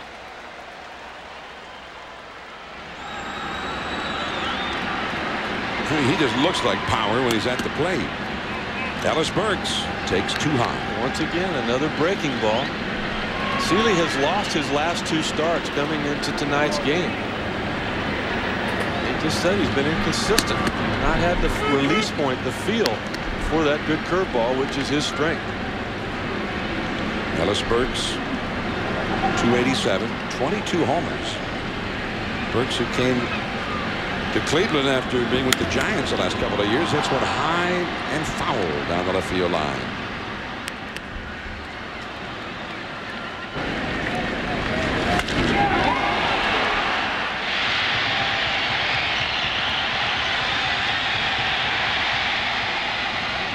That's a pretty good shot. And although the wind we had earlier coming in from that part of the ballpark has uh, stopped blowing for a while. 418 feet was the measurement on that home run by Thome. Thome might have been the one that stopped the wind. was strong enough to turn it around. And that one in on Ellis Burks. Ellis just had a couple of uh, monster years for the uh, for the Giants. Considering the number of games he played, he was limited to only about 390 at bats a season in San Francisco because you know he couldn't DH. Strike three on the outside, and Ellis very unhappy about that call. Thought he had the walk. Larry Sele just continues to make big pitches when he has to. He walked Thome to start the bottom of the second inning. He got the double play, painting the outside corner on Ellis Burks. Here he does it again in the mind of home plate umpire Jeff Nelson. But you could see Tom Lampkin bringing that pitch back to the plate. Which anytime you see a catcher doing that, it tells you that even the catcher thought the ball was out of the strike zone. One ball and no strikes to Marty Cordova, one-time American League Rookie of the Year. He gets that outside call again. One ball, one strike. You know, we were talking about Ellis Burks. He had 96 RBIs for San Francisco in each of the last two years. with fewer than 400 at bats. That, there's that big curveball from Sele. One ball and two strikes, but one of Burks' hopes coming here to Cleveland was with the DH rule, he'd get more at bats without having to take the pounding on his knees. I mean, he played a couple of days in the outfield and would need a day off. The knees would get all swollen up. He's only played 14 games in the outfield this year. He was in the top 10 last year in RBIs per at bat, the National League. Last couple of years, just 120 games started. As you said, 96 RBIs both years and 70 plus runs each year scored. Into the hole, and there goes Guillen. Not nearly in time to get Cordova. Acrobatic effort there by Guillen. That's the third hit of the inning for Cleveland. But they are trailing 12 to 2. Over the past 75 years, millions have watched the Goodyear Blum, uh, blimps hovering over special events. Tonight, above Jacobs Field is the spirit of Goodyear carrying on that tradition. You can find out more about the Goodyear blimp fleet on the internet at www.goodyear.com. I'm glad to have them overhead with us tonight on Sunday Night Baseball from Cleveland. Travis Fryman now. And again, that call on the outside. Now, when you're a pitcher and you, you get a call out there, not a bad idea to keep going out there, right? It's just like fishing. Bait your hook and you throw it in the spot. You catch a fish. What do you do? You take it off the hook. You rebait the hook. You throw it back in the same spot, don't you? If he's going to continue to let that outside corner grow, Aaron Sele being a veteran pitcher, having the command of his fastball to stay in that location, I would expect that he will. Double play ball. There's the out there. McLemore to first. Double play. And Fryman grounds into a pair to win the inning. Jim Thome with number 35. Top of the order now. Ichiro coming up 12 to 2 Seattle. MLB at Home is presented by Scotts, who knows that some of the best games are played in the backyard. Scotts, grow more good. Sunday Night Baseball from Cleveland. And the, the hometown team is taking it on the chin right now. 12 to 2 Seattle. Team with the best record of the majors. Clobbering Cleveland. Here is Ichiro. He takes a called strike. Ichiro who makes his home in Kobe, Japan in the offseason. There's Russell Branyan now in left field as Ellis Burks gets the rest of the night off. Ichiro takes a called strike from Bacsik on the inside. Ichiro tonight has struck out, hit a two-run single, and hit a sacrifice fly. Officially one for two, three batted in. Ichiro is so in, enormously famous in Japan that when he got married in the spring of 2000, he and his uh, wife-to-be actually had the ceremony in Los Angeles to avoid the massive publicity assault that it would have generated back home in Japan. There's some uh, Ichiro fans here in Cleveland tonight. One and two the count. And right back to Bacsik. Ichiro is retired. There is one away. Ichiro with a very interesting, unique kind of approach at the plate. Edgar Martinez, quite an authority on hitting, talked about it. His mechanics are very, very good. He looks like, uh, to some people, that his, his feet are out of the box when he swings, but when he does that, his hands always stay back and, and he weighs on the ball very good. There's a lot of things that happen with Ichiro. McLemore with a base hit to left field on the first pitch here. The first hit for McLemore. From the waist down with Ichiro, there's a lot of activity. He's got a bigger leg kick on certain pitchers that don't throw real hard where he can generate more power. But watch the hands. They never move. He lets his right shoulder simply take him back into the hitting position. And when he recognizes something to hit, he goes directly to the baseball. That's the reason he doesn't walk much. He doesn't strike out much. When he sees something he likes, he does something with it. Seven-time batting champion for the Orix Blue Wave. It's a ball outside to Edgar Martinez, who has grounded out, singled. By the way, they did change the scoring call. And Edgar was up there in the third inning on his second at bat to an error on Omar Vizquel. Official score. Apparently was uh, browbeaten by Rick Sutcliffe for the change in that call. That's a base hit for Edgar. A clean single here, his second hit of the game. McLemore to second. Alvaro Martin on Ichiro. John Rick was mentioning that he had changed his batting stance. He won six batting titles using his front leg as a pendulum before he swung at the ball. Last season, during spring training in Japan in the Pacific League, he decided to put his foot down and have a more standard approach. He said, I wanted more power while having the same plate coverage. The power numbers went down, but you can't complain. He won his seventh batting title by hitting 387. That's a career high. Edgar was saying he's such a natural, instinctive, intelligent hitter. The scary stat about Ichiro is 27 years old. He said in the next 10, 15 years, who knows what he can do. And that's a called strike to Ed Sprague, the pinch hitter for John Olerud. Mariners ahead 12 to 2. So Ed Sprague, a veteran, a one-time World Series hero with the Toronto Blue Jays against the Atlanta Braves. When was that? 1992. He had a big home run that helped turn that series around a little bit. He takes off the outside. One ball, one strike. There's Gerald Perry, the hitting instructor for the Mariners. Telling me that Ichiro hits more home runs in batting practice than any other Mariner player. He said it's amazing the things the guy has done the first half of the year when he's never seen any of these pitches before. Gerald thinks that Ichiro's power numbers will go up the second half. Into left center. That one will go up against the wall on a hop. The carom played by Branyan. Coming in to score is McLemore. Then the throw goes to second, at which point Edgar Martinez dug for third and made it easily. Branyan threw in behind him. And Edgar, seeing that, just took off for third with the sore quadricep muscle at all. Sprague with the RBI, 13 to 2 Seattle. I think if Lou Piniella had it to do over again, Edgar would have stayed at second base. They just got him back into the lineup. They know that they need him healthy. Sprague with another rocket delivered off Cleveland Indian pitching. Branyan coming up with it. Take a look at McLemore. He knows that he's going to score. Now Edgar pulls up the brakes. He's just going to stop right there. But he's far enough down the line that when he sees the long throw to second, he knows even with his lack of speed, with his lack of legs, the injury that he has, he could get to third base easily. Al Martin first and third, one out. Nice pickup by Thome, and he gets the short out at first. Coming in to score is Edgar, and the second is Sprague. RBI for Martin.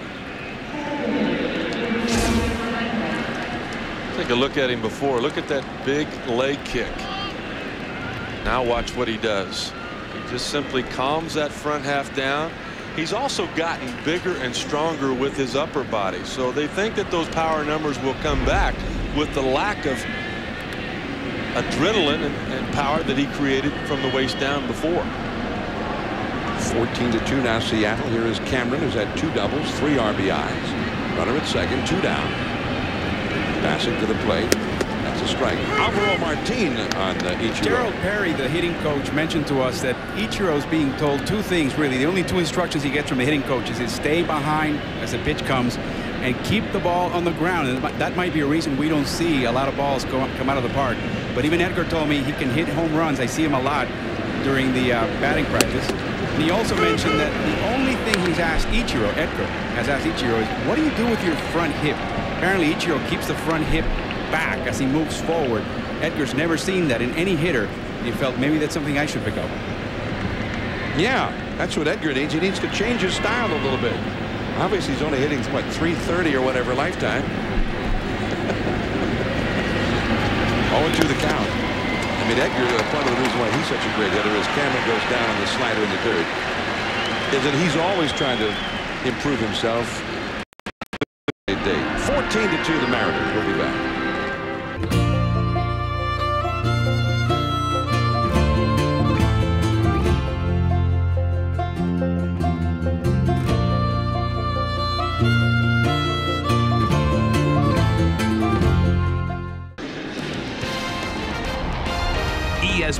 Sunday Night Baseball, presented by Nextel, is brought to you by Terminix. Termite problems? Call 1 800 Terminix for our advanced termite baiting program. And by TGI Fridays. In here, it's always Friday. Jon Miller and Rick Sutcliffe from Jacobs Field in Cleveland, the Seattle Mariners. And we are duly impressed. We've decided that, yes, they are for real. After 110 games, they've made believers of us. There's Ed Sprague staying in the lineup at first base after he pinch hit for John Olerud. And there is uh, Einar Diaz, the Cleveland catcher, against Aaron Sele. And that is a foul down the left field line. Diaz popped out to third his first time. Kenny Lofton and Omar Vizquel will follow. Sellout crowd in Cleveland, although attendance is actually down a little bit this year. Diaz apparently broke his bat of that one, so he's going back to the dugout for a new piece of wood. They had a ceremony a while back in Cleveland to celebrate the top 100 Cleveland players in the 100 years of Cleveland Indians baseball. One of them was Duane Kuiper, a very fine second baseman. Sure. Back in the 70s and into the 80s. He came back and he says it was kind of a thrill to see what had transpired here in Cleveland over the years from what he remembered as a player. The, the big old ballpark, where nobody used to go to the games. The team was never a contender. You played in some of those Cleveland teams as well, Rick. And then to see this gleaming new jewel of a ballpark and Cleveland always a contender, always a power in the league. And yet he came back and said, uh, Kuiper, now a broadcaster in San Francisco, came back and said, you know, I think the fans are a little bit spoiled now. Says a lot of them apparently don't remember the 35 years where they were never one time in a pennant race. Well, they're not only spoiled with the, what they've done here with the stadium, but the whole downtown area is just a alive. He's had a great effect, not just on the Cleveland Indians ball club, but this downtown area in Cleveland as well. A whole different city than it used to be. In the American League Central, Minnesota lost today to Kansas City. So Cleveland one game out at the moment, but they are trailing by 12 runs here in the fifth inning. So they again fall back to a game and a half out. The White Sox were defeated by Tampa Bay at Comiskey Park today. Fastball outside, two and two to Diaz. Just keeps going with that fastball away because it's really the only pitch he has had tonight. The release point on that curveball just too inconsistent for Aaron Sele to get beat with that pitch the curveball. And David Bell throws out Diaz. 4-1 away. Well, we talked to Aaron Sele about how he throws his curveball. Here's what he told us. The secret to, for, for me is to, to be able to get, to make it feel like the, that the ball actually comes out and rolls over the top of the finger, which means I've gotten all the way out in front of my pitch. Um, I don't feel like I've had a real consistent one this year by any means but it's, it's been coming around. It's been better of late. And you could see what he was talking about with that grip was to get as much of his finger between the baseball and home plate. That's what the curveball is all about. More of an off-speed pitch. Often fouling one. Bell over to the Cleveland dugout. He's got it. Out number two. He pulls with his middle finger as hard as he can. The baseball's back. You try to create as much rotation as you can. And to get the downward movement, you get your fingers between home plate and the baseball. Now, the difference with the slider is that it's more of a power pitch. You kind of offset your grip slightly. You get your thumb out of the way, and then you throw a fastball with a finish. That keep that creates that sweeper there. A lot of curveball pitchers having big years this year because of the strike zone that they've opened up above the belt. That curveball starts in that zone, it comes straight down, and it gives a curveball pitcher more plate to work with. It didn't really help the slider guy or the sinker guy because they go east and west. Omar Vizquel, one ball, one strike. Vizquel, one for two. Take a look at the breaking ball. See how he tried to get his fingers in front of it. But you can see the grip that he showed us on TV had more finger in front of the baseball than what he's getting now. Cameron grabs that one. And Cleveland is gone one, two, three against Sele. Into the sixth inning now. 14 to 2 Seattle. ESPN Sunday Night Baseball tonight from Cleveland. The Seattle Mariners closing in on 100 wins already, although it's early August, leading 14 to 2 tonight into the sixth inning. Changes now for Cleveland. Roberto Alomar who was feeling under the weather when the game began anyway, gets the rest of the night off. Jolbert Cabrera goes into play at second base. Russell Branyan moves in from left field to play third as Fryman departs. And Wil Cordero goes into play left field. He'll hit in Fryman's number eight spot in the order. And Mike Bacsik in relief of Dave Burba to Carlos Guillen. Guillen takes low and outside for ball one. Guillen one for three. He hit a two-run single back in the third inning win. The Mariners scored eight runs. Second time this week that a team has come in from the West Coast and had an eight-run inning against Cleveland. And Cabrera throws out Guillen. And there is one away. Take a look at the high breaking ball that we were talking about here with Juan Gonzalez. Look at him just completely disregard that. Sele getting it back on the inside part of the plate. Now watch Diaz. Immediately he goes, all right, I'm not going to swing it. Oh, wait a minute. I got two strikes. I got to protect. There's a new strike zone. He has to try to put the ball in play. He does. And it was an easy out, a ground ball to the third baseman. That's what has been opened up now. I remember Billy Williams, great hitting instructor, Hall of Famer with the Cubs, talking about how people don't even swing and hanging curveballs anymore. Our eyes used to light up, but the strike zone had gotten so small and so low, something had to be done, and that's what they did. David Bell, the eighth place hitter, has walked and scored a run, singled and scored a run, and flied out. One ball, one strike to count to David Bell. Congratulations to Kirby Puckett, inducted into the Hall of Fame today, along with Dave Winfield and Bill Mazeroski. And it was pointed out that the three are sort of joined together in that they each hit crucial in the case of Mazeroski and Puckett home runs. In the case of Winfield, a, I don't know if it was a home run or just a big extra base hit that helped their teams win World Series. Mazeroski hit one of the most famous World Series home runs of all time. Cabrera's got that one. Bell retired out number two. Kirby Puckett had that game-winning home run in extra innings in game six of the 92 World Series against Atlanta. Dave Winfield had a, uh, a clutch extra base hit to help. Uh, let's see, Kirby was 91. Winfield was 92 and the Toronto Blue Jays defeated Atlanta Those numbers on Kirby Puckett would have continued to gone up. More gold gloves. Could have been a 3,000 hit guy if not for the vision problems that happened with Kirby. I mean, Kirby was sort of the American version of Ichiro. I mean, Kirby went up there to swing. You'd say to Kirby, what are you looking for when you're up there? He said, I'm looking for something anywhere near the strike zone. I'm up there to hack. And we, it was a, a great hitter, great bad ball hitter and a great center fielder. How many home runs did he take away from people at the Metrodome? Lampkin, the hitter, too far in from Bacsik, two and one the count. And you saw all three of those guys. They were all-round players, especially Puckett and Winfield. Offensive and defensive. They could beat you either way. And Bill Mazeroski, I mean, Joe Morgan has often said just the best second baseman he ever saw. And that one is caught by the right fielder Cordova just after Cabrera got out of his way. Nice play. 14 to 2 Seattle. There's a called strike from Aaron Sele to Jolbert Cabrera. As we go to the Cleveland half of the sixth inning, Charles Gibson has come on in relief of Ichiro in right field for the Mariners. Good ball lifted to left field deep. And uh, right in front of the wall. One away.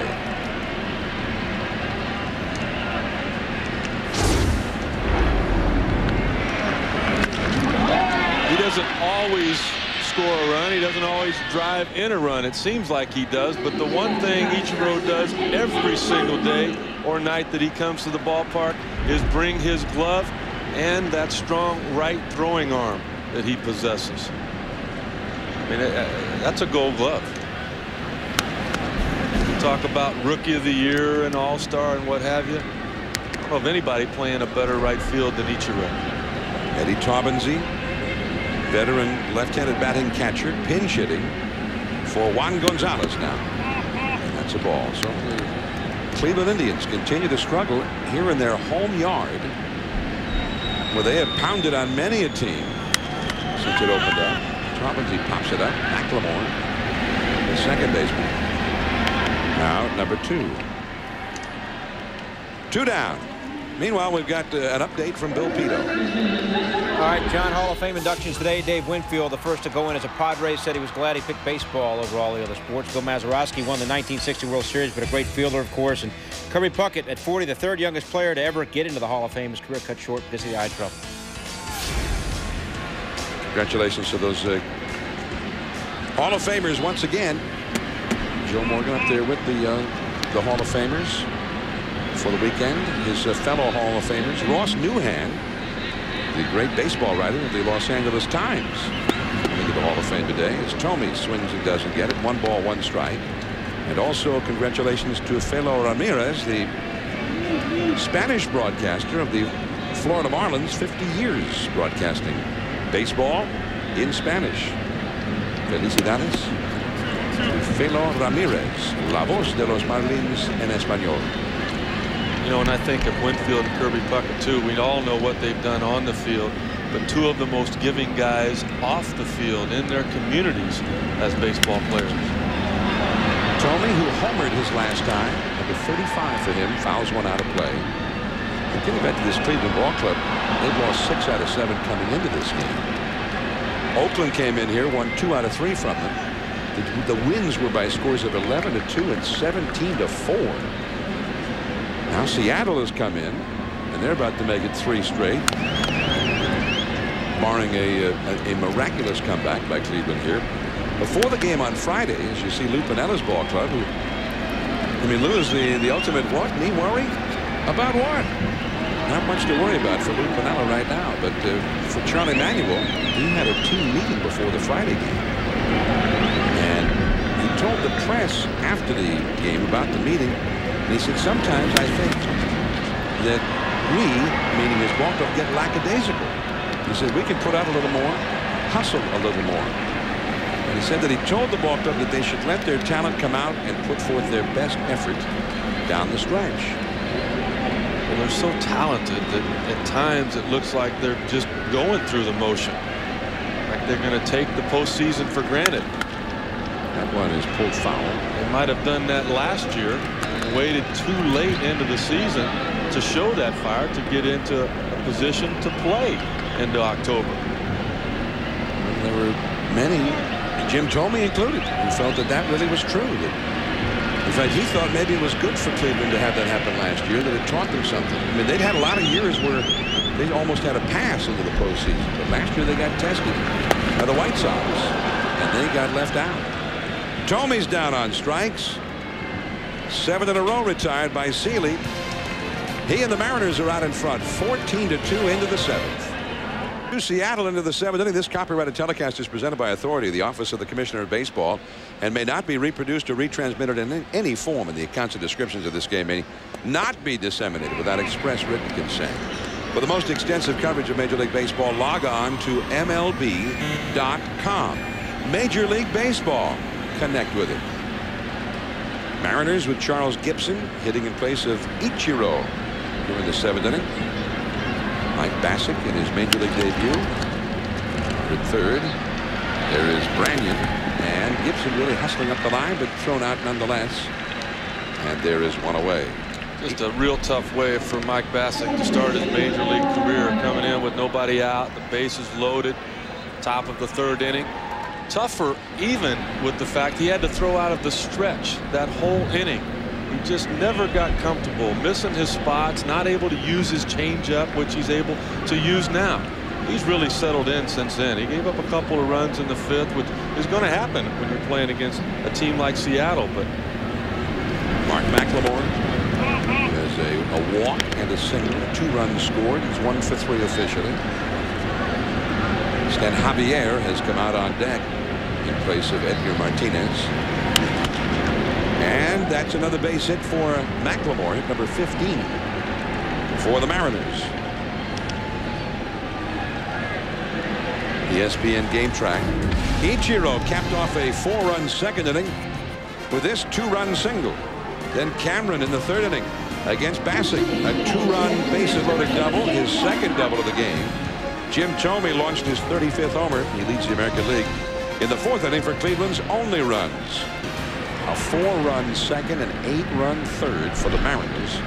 As they build a 12 to nothing lead, they lead right now 14 to two in the seventh. And here is Stan Javier. Javier, a switch hitter, up here against Bacsik in the seventh inning. Javier got his first look in the big leagues when he was 19 years old.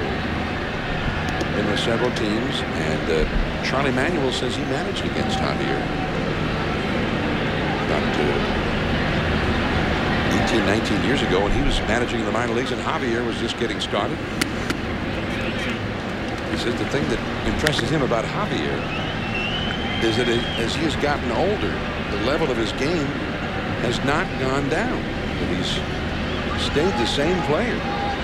Still a very fine outfielder. Still very versatile. Hits well.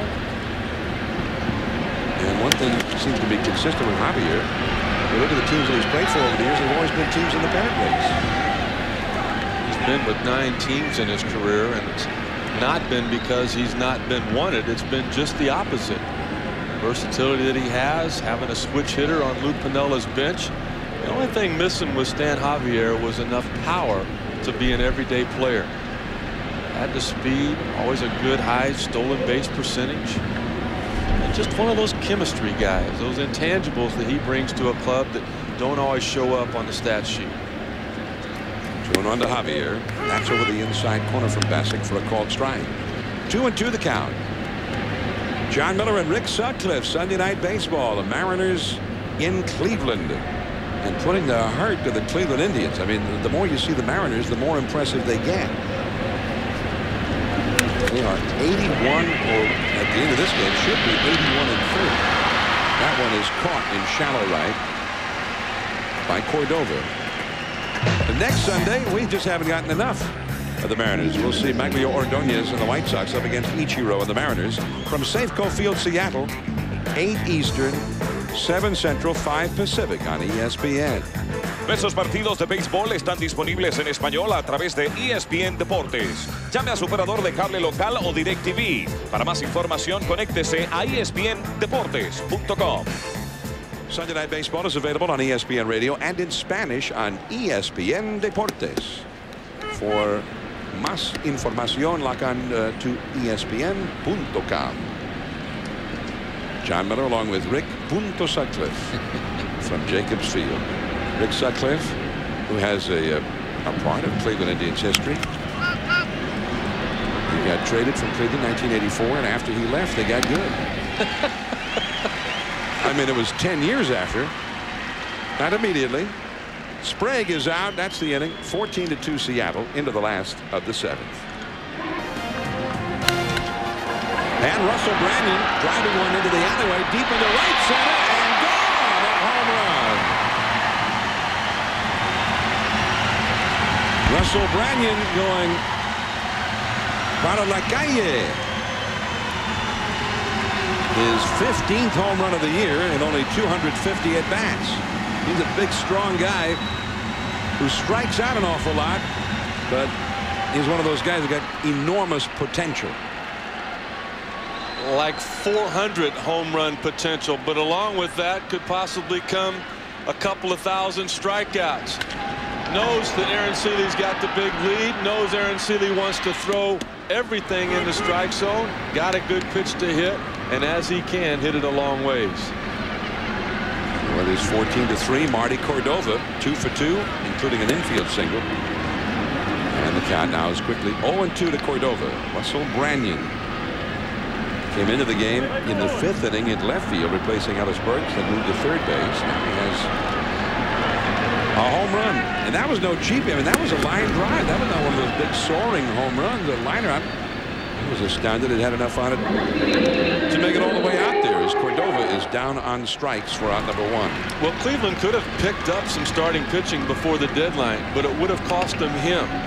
And their front office just did not want to give that guy up. They've given up some power hitters in the past, and it's cost them. Sean Casey, Brian Giles, Jeromy Burnitz, Richie Sexson, who hit a grand slam homer today against Atlanta. Here is Wil Cordero taking a strike. This is his first at bat. Seattle's bullpen is getting busy for the first time tonight. 0-2 to Cordero. There is John Halama, trio of pitchers acquired from Houston in the Randy Johnson trade three years ago. I showed you some of the other players. And they, there's Freddie Garcia who came in that trade along with Carlos Guillen. Also when Ken Griffey Jr. was traded they got some talent for him plus they had the salary mobility in the roster to acquire more. And he is just fouled on the left field line. Pat Gillick had become the GM by the time Griffey was traded. And then they did the same thing this past offseason when they lost Alex Rodriguez to free agency. Pat Gillick went out and brought in a lot more talent. So now they don't have those big superstars that they used to have. I mean, this was one of the most I'm talking about Seattle, one of the most interesting teams in terms of superstar talent. I mean, the maybe the best right-handed hitter, Edgar Martinez, maybe the best player in the game, Ken Griffey Jr., the, the, the great young shortstop, Alex Rodriguez, the great left-hander, Randy Johnson. I mean, I mean, they had great talent all over the field, but they uh, are now, without all of those superstars, now the best team they've ever had. And uh, after Alex Rodriguez left, they went out and signed Bret Boone, also Ichiro, and the former Yankee uh, relief pitcher Jeff Nelson, all of whom have been key men in this lineup and on this club. Well, before last year, Gillick signed Aaron Sele as a free agent. You look at Jeff Nelson, figuring he's got the night off with this big lead Seattle has to this point. Aaron Sele, one of five guys over the last three years that has won at least 17 games. We've all heard of Pedro Martinez, the big unit, Greg Maddux, and David Wells. But this is the fifth guy that has had at least 17 wins and well on his way to doing it again this year. He's uh, going after number 13 tonight and leading by 12 runs in the seventh inning. Figure the unit will win at least 17. Greg Maddux is going to do that again. Pedro Martinez probably won't. Neither will David Wells.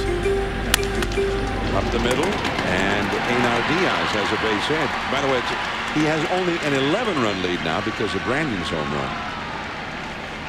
I knew it was to the lot. 14 to 3. Diaz with his first hit. Well, whenever the Goodyear blimp is hovering above a game with its camera focused on an event, you know you're getting a, a, unique view of the action overhead tonight is the blimp Spirit of Goodyear based in Suffield, Ohio, very near Akron, which is the world headquarters for the Goodyear Tire and Rubber Company. It's a called strike over the outside to Lofton. Lofton one for three in the game. 14 to 3 the Mariners lead. Seattle with a win tonight will be 81 and 30. And three years ago we had the Yankees have that historic season. The Yankees establishing a, an American League record by winning 114 games, although fans here in Cleveland will remember are quick to point out that their winning percentage was not as good as the 1954 Cleveland Indians, who had been the, the record holder. They won 111 and lost 43 when the schedule was eight games shorter. The Yankees won 114 and lost 48. And can Aaron Sele's Seattle Mariners approach that figure? And they appear intent upon doing it. Jeff Nelson has sort of an interesting view on all of that because uh, he's here with the Seattle Ball Club and he was there with the Yankees three years ago. And he's a big part of the main thing those two teams have in common. Tremendous bullpens. If you've got the lead after six innings, you can just count on that victory. They have outscored their opponents from the sixth inning on by 110 runs. And it's not so much that Seattle scores a lot. They just don't let you score. Diaz was running as Lofton takes ball forward. The two on, two out, and Omar Vizquel is coming up. I mean, some of the other things are very similar. As we, uh, you, you bring up the bullpen. I mean, look at this. Arthur Rhodes and the opponents are hitting 180. I mean, he's a slump in the making for any hitter. Then Jeff Nelson, he's had 46 innings and he's allowed 18 hits. And then Sasaki, the closer, the former Japanese great, in his second year with the Mariners, he's right at the top of the league with Mariano Rivera. 35 saves. But Seattle knew that coming into the year because those three guys were the top three guys in the bullpen last year as far as the lowest opponent's batting average against was concerned. Although Jeff Nelson did that for the Yankees last year and not for the Mariners. Nelson was one, Sasaki was two, and Arthur Rhodes there in the middle was number three. There's ball one to Omar Vizquel. Two on, two out. Mariners, when you, get into their bullpen, game's almost over. When they've led after, after six innings, which means a long way to go yet. 63 and 3, and when they're tied after six, 10 and 2. And think back to before Sasaki got here, the problems Lou Piniella had closing out ball games. Well, now he's got a closer for the seventh inning, one for the eighth inning, and another one for the ninth. Bret Boone said, he said, hey, I know if we're ahead late in the game with our bullpen, I take my chances. 3 0 the count to Vizquel. Cabrera is on deck as Sele might be starting to tire now. Big lead at all. He's of 115 pitches and number 116 way out of the strike zone and the bases are loaded and here comes Piniella. Yeah, he's walked the last two guys. Aaron Sele just averaging two base on balls per nine innings on the year. So even though he has only pitched into the seventh inning, he's been in that uniform tonight for a long time.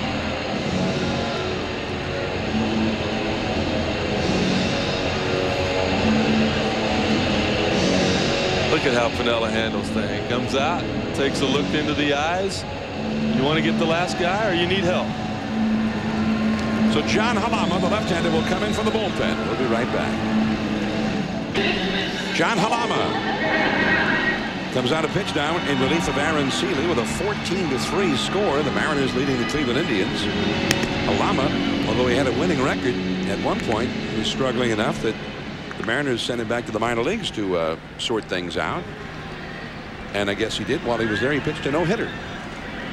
So they brought him back, but now he's in the bullpen. Well, they're starting pitching and, and depth at the pitching position reminds me a lot of, of the Dodgers back in the 70s and the early 80s when they were just stocked from top to bottom. Not only outstanding pitching at the big league level for Seattle, they got a tremendous rotation going in AAA. Now here is Jolbert Cabrera. For the second time, he fried out deep to left in the sixth inning. The bases are loaded with Diaz, who singled at third base. Lofton who walked at second and Vizquel who walked at first. Cabrera came in in the sixth inning for Roberto Alomar to score 14 to 2 at the time. So Cabrera one ball to no strikes to count. Three men on. Ball one strike. Halama similar kind of a pitcher to Mike Bacsik, the left-hander who's been pitching for Cleveland since the uh, third inning. Not a real hard thrower. Sele six and two third innings. But Halama always a winner. Big wins at the minor league level. Player that a lot of teams tried to pick up before the deadline. Shallow left. Martin. No, it's in front of him. Diaz scores, and so too does Lofton. Vizquel stopping at second. A two-run single for Cabrera. And it is 14 to 5 Seattle. All of those runs charged to Aaron Sele. An off-speed pitch, which you see a lot of front John Halama. Outer half of the plate. Extend those long arms. Go out and get it. The ball was elevated just enough that get it out of the infield. All Al Martin could do was come in, pick it up on a hop, and five runs scored tonight by the Cleveland Indians. Eddie Taubensee came in as a pinch hitter for Juan Gonzalez in the sixth inning. He takes a strike. Taubensee, he was the guy they traded for Kenny Lofton in the first place. Foul. Over the years has developed into a, a very dependable power hitting left-handed catcher. In 1991, Kenny Lofton and Dave Rohde were acquired for Eddie Taubensee and Willie Blair, which for a long time afterward looked like one of the most lopsided trades in a long, long time. Lofton evolved into one of the great leadoff men in the game. Back out of play. Now they're together, teammates here in Cleveland. Robinson traded over from the Cincinnati Reds for Jim Brower. Guy that can come off the bench. He's got some pop, as you mentioned, but it's really Einar Diaz, his pitching staff. He's been handed the job as their everyday catcher when he's healthy. He's had some injury problems this year as well. That's a foul. He's uh, become a very dangerous power hitter with the Reds. And has just not been able. I don't know. There's something about Cleveland that's haunted Taubensee.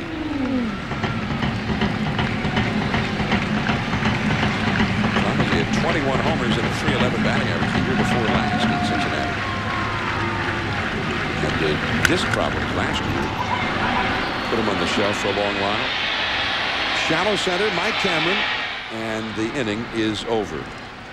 Three runs for Cleveland. We go to the eighth inning. The Mariners leading 14 to 5.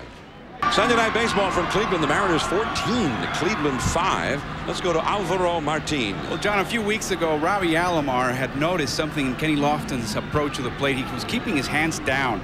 So he actually took him to a video room and said, keep your hands up. That's when you've had success in the past. When you bring them down, you have to bring them up, back, and then forward. It's too much of a waste. You're not catching up to pitches. He had a good run in July after that, but he keeps forgetting. And as you just saw, the reminders are constant. So Roberto Alomar, great second baseman, league's leading hitter, and hitting instructor, at least for one man anyway. Well, you can look at the numbers for Lofton tonight. Two times that he put the ball in the air on pop-ups. That's not his strength. He's got to stay on top of the baseball, keep the baseball out of the air. Al Martin, the hitter, against Mike Bassett. Two and one the count. Martin double in the second. That started the four-run rally. And if, as far as Cleveland's concerned, that started all of the trouble. It was a ball that probably should have been caught by Kenny Lofton, but he misjudged it. Got a late break on it. And then played the single into a double. And then four runs scored in that inning. Martin also singled in the third, knocking Burba out of the game. Martin is two for four. Strike from Bassett. Three and two. Bassett is giving Cleveland some value right now that could pay off in a win tomorrow or the next day just by the innings he's given the bullpen off tonight. What a job he has done just taking one for the team. 82 pitches now on the night left field. And Cordero makes the grab, and there's one down. We were talking about the Seattle club, the great, the great run they're having versus the Yankees of three years ago. Jeff Nelson on this team was with that team, and we asked him about some of those similarities. There's not one guy that I think is a superstar. You have like 25 superstars, and everybody on the team contributes. Um, with Seattle, I think Lou tends to play everyone more, so there's not the so-called bench players and uh, he gets everybody in, and then, so they're not so stale. With Joe, he basically had the same lineup all the time, but it was uh, it was a different hero every night, and it was the same with New York as, as it is in Seattle here. I think there are considerable similarities in addition to that bullpen between the two ball clubs is we just saw Cameron get his third hit of the game. Cameron also with three RBIs. Carlos Guillen will come up now with one out and one on because you know, 1998, that was the year of McGwire and 70 homers, Sosa 66, Greg Vaughn 50. It was a big home run year. The Yankees had this incredible record, and nobody had more than 28 homers in the Yankees club. They didn't have any, anybody among the league leaders in RBIs, batting average, batting titles. I mean, uh, all they did was score a ton of runs and beat everybody. Just real good balance from top to bottom. Piniella's lineup with that balance, and he also has winning players that he can pull off of his bench from time to time. in, takes a changeup down and away. One ball and one strike. In the Seattle club, I mean, Bret Boone has had a very big year for RBIs. He is leading the league in RBIs. Ichiro has been a great addition.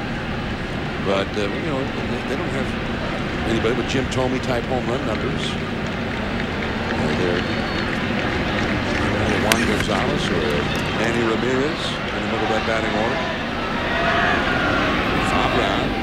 The wind carries it, but nonetheless, Branyan stays with it and makes the play.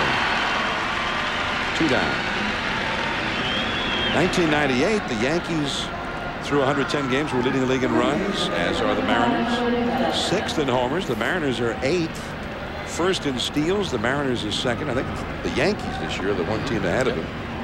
And in on-base percentage, the Yankees were number one, the Mariners are number two, and very, very similar in all of those categories. Well, you don't bring power to the ballpark with you every single night. Although in 1998, it seemed like McGwire was hitting a home run every night at the ballpark. But you do bring that speed, and they have speed from top to bottom. Lou Piniella, guys that can't run as well as others, he'll put the hit and run on. He'll protect you. He'll do the delayed steal. Guys that can run, they constantly got the green light. Do what you do best. David Bell, the hitter, he's walked single, flied out and popped out, officially one for three. The, uh, the Mariners 80 and 30 coming into the game tonight. You have to go back a long, long way into the, the aughts or into World War II to find teams with better records. And of course, the Yankees had a one game better record in 1998 at this point of the year. The Yankees were 81 and 29 and then won eight in a row after that. So at one point they were 89 and 29. On the other hand, don't bet against the Mariners doing that the way they're going right now. I mean, they come in here to Cleveland. This is a tough visit for any team. They're about to make it three in a row over the Cleveland Indians. Mariners with a win tonight will have won five in a row. And their record on the road with a win tonight will go to 45 and 14. I mean, they've been better on the road than they've been at home. And they've been great at home. The Mariners also, playing against the best teams in the league, have been extraordinary. It really hasn't mattered who they've playing. I mean, against the teams that have winning records right now in the American League or National League for that matter, interleague play, they are 42 and 16 against those teams. It's been just the opposite for the Cleveland Indians. Under 500 now against teams with 500 or better records. Runner goes, and Branyan throws out Bell to end the inning. One hit, one left. Now to the last of the eighth inning, Jim Thome, who has homer tonight, the league's leading home run hitter, will get another shot at it. We'll be back. MLB at Home is presented by Scotts, who knows that some of the best games are played in the backyard. Scotts, grow more good. We're in Cleveland. There's the Terminal Tower lit up at night. And uh, Sunday Night Baseball presented by Nextel. The Mariners leading 14 to 5. Here in Cleveland, there's the uh, the Terrace Restaurant, and a look from inside at the action from the beautiful restaurant here at Jacobs Field. That's the, the look from the outside looking in. Jim Thome against John Halama. Thome launched his 35th home run of the year back in the fourth inning. Two-run shot, 418 feet was the estimate of the, the distance it carried. And that is a little bit high, ball two. Now, Thome has a 15-year-old nephew named Brandon who was partially paralyzed in a diving accident this summer. The Indians went to Chicago to Comiskey Park to play. Brandon came out to the ball game, and he asked his uncle Jim not only if he just hit him a home run that night, he says, since I'm out here to watch you personally, if he could hit me two home runs. Two. And Jim told him that that might be a little far-fetched. And then he went out and hit two home runs. Deep into left field. And that one is gone. He's hit two home runs tonight. Number 36. Over the big wall of the opposite field.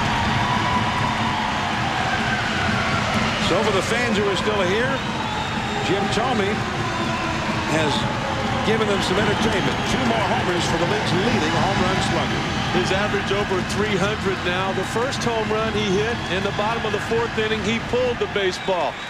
Jim says the reason I'm streaky and I get myself out is because I become too poor conscious. In the next at bat, the bottom of the sixth, he pulled off a breaking ball and struck out.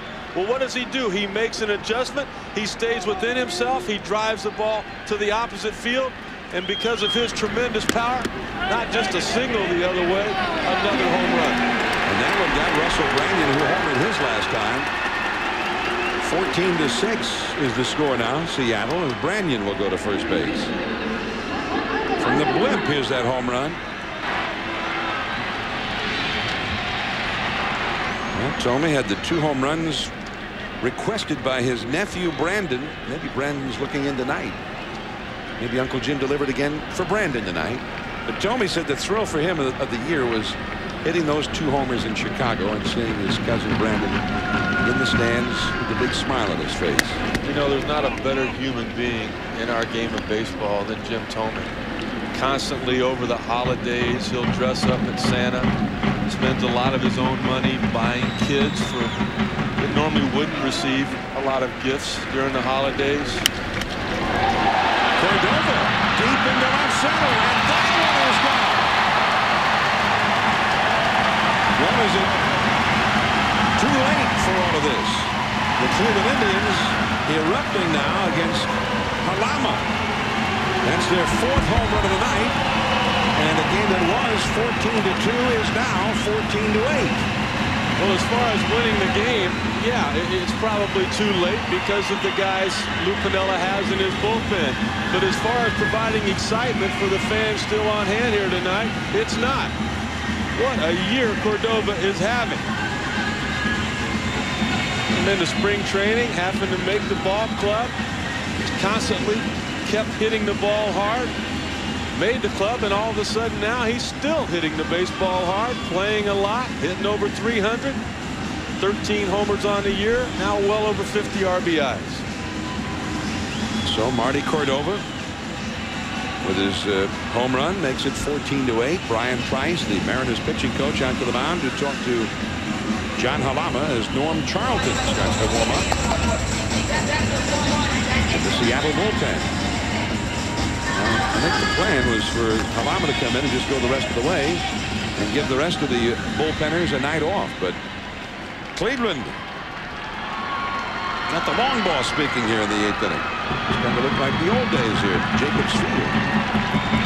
just look at all of the teams that won today in baseball that did not score eight runs. It shows you how important it is for Cleveland to get their starting pitching back together again. A healthy Chuck Finley. Wil Cordero up the middle, but there is Guillen cutting across, and he makes a very nice pickup on a real bad hop.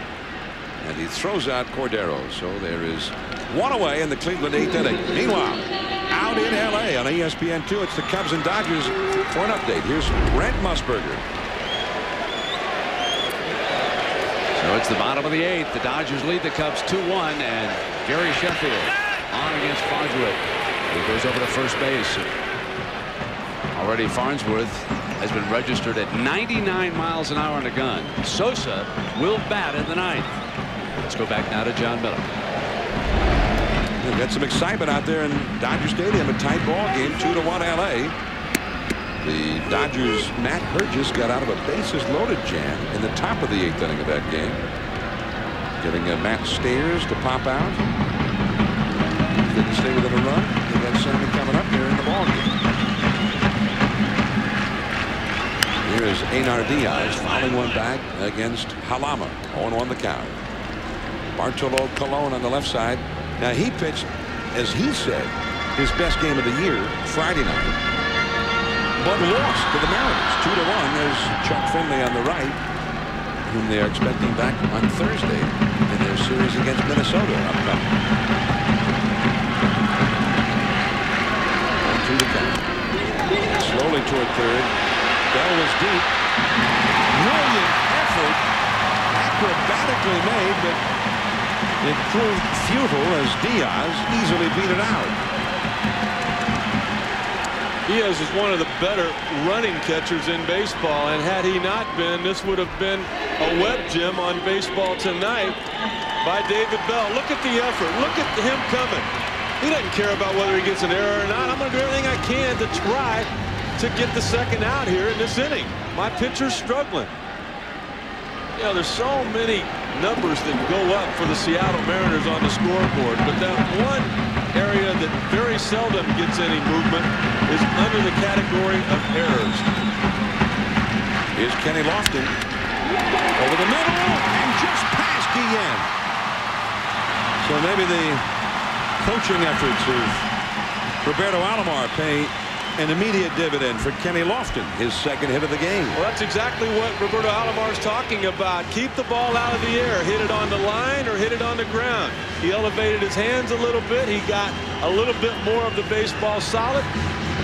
And that brought Lou Piniella out of the dugout. Omar Vizquel coming up. Norm Charlton coming in. We'll be back.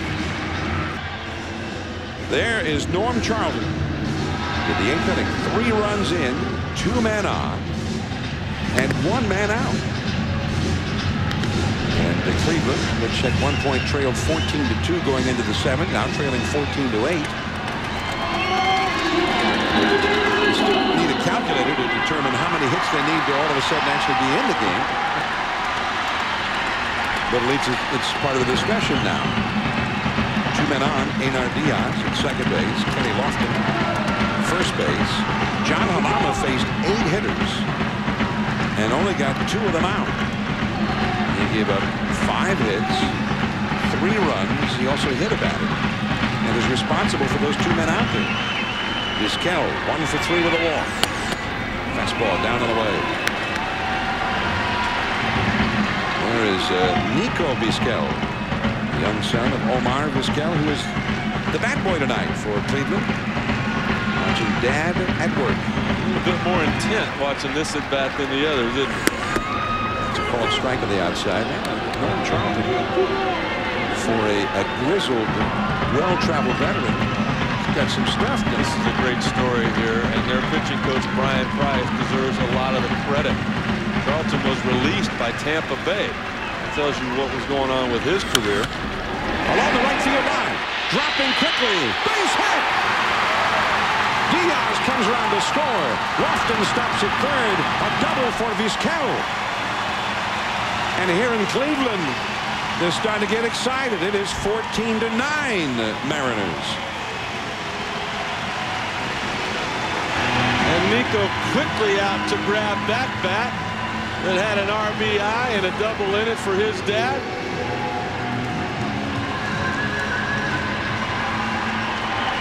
Perfectly placed down the right field line. And Vizquel doing a terrific job watching what happens to the ball. When he sees the right fielder have trouble with it, he continues to go into second base. There's a veteran bat boy telling him, hold on, hold on, wait till the run scores. Now go out and grab the piece of wood. Now, things would be a little more promising for Cleveland if Roberto Alomar and Juan Gonzalez and Ellis Burks were still in the lineup. But now here's Cabrera in Alomar's spot with Taubensee in Gonzalez's spot on deck. But nonetheless, if they get Jim Thome up in this inning, he could be the tying run of the game. I mean, he's not due up for a while. but if he gets up, and I'm just, you know, thinking ahead here. John Halama, who uh, just had a, a miserable night, two-thirds of an inning, and he's been charged with four runs so far. He has pitched decent out of the bullpen this year, but he's a lot more better suited to be a starting pitcher. And that showed up tonight. Just did not have command. One and one to Cabrera. He is one for two since he came into the game. Slider in the dirt. Breaking from third for the plate. Lofton, and he is out.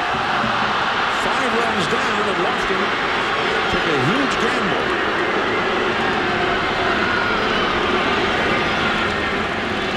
Only a good play if he made it. Boy, you just don't expect to see this out of Kenny Lofton. He hesitated. He hesitated. Stay. Stay right there. Charlton doing what he can do. Lampkin with a nice job getting there. Lofton trying to avoid the tag, not able to do that. And just a bad baseball play on the part of a guy that normally does not make mistakes like that. Kenny Lofton, the veteran, and having a bad year, maybe trying a little bit too hard as the, the split-fingered pitch from Charlton gets the strikeout of Cabrera. And it all comes undone almost as quickly as it got promising. Four runs in, including Thome and Cordova, launching home runs, 14 to 9, Seattle.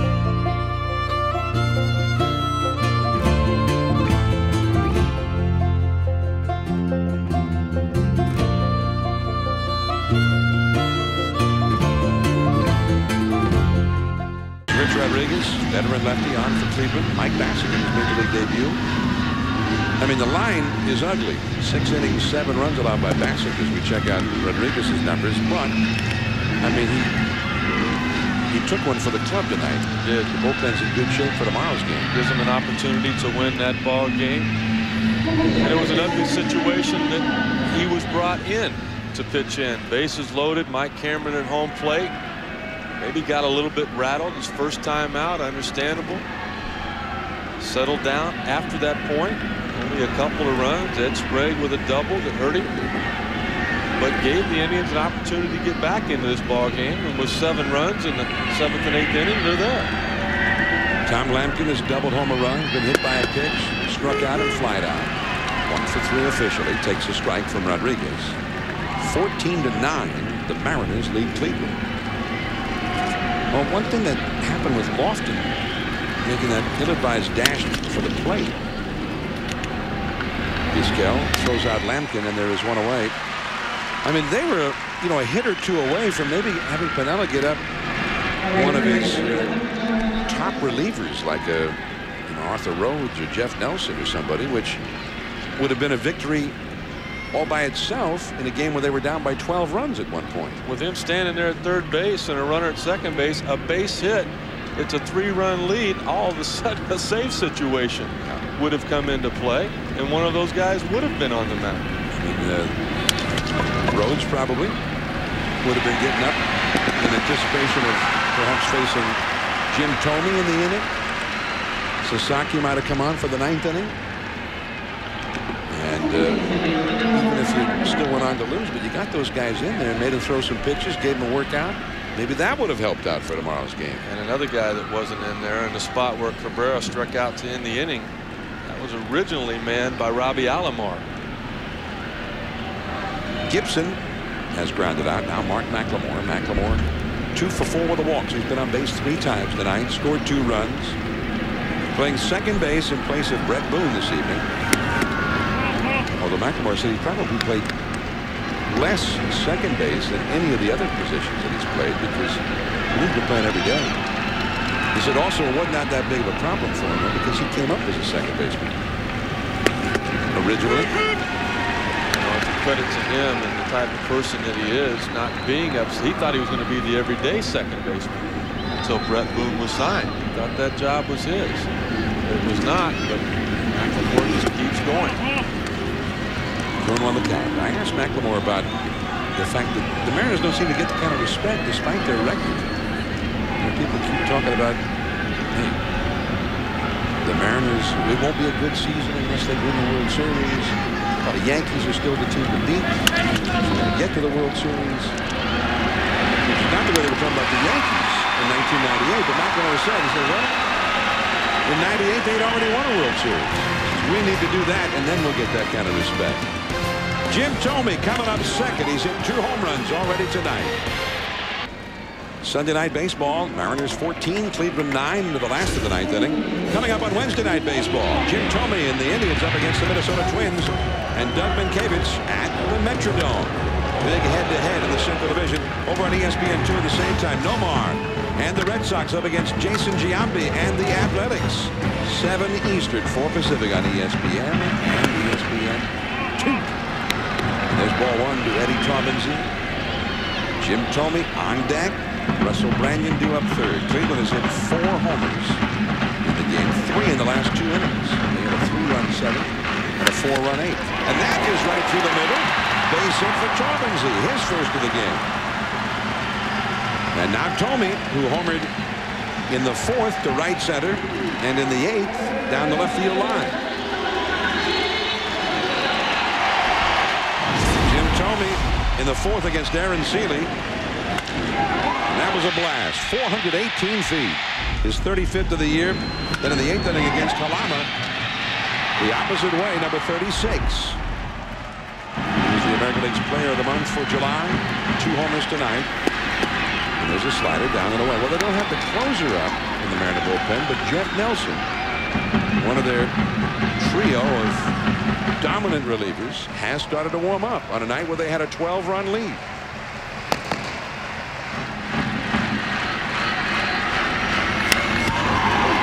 Muscles one on the right.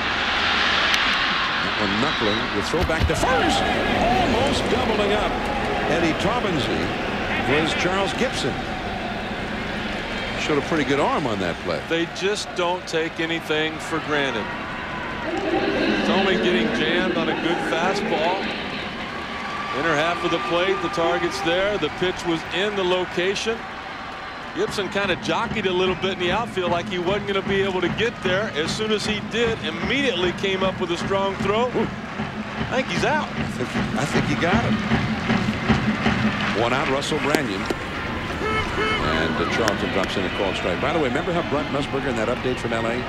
told us that Sosa would bat in the ninth inning? I'm not going to spoil it. Something happened? Don't, don't click away just yet. 0-1 the count.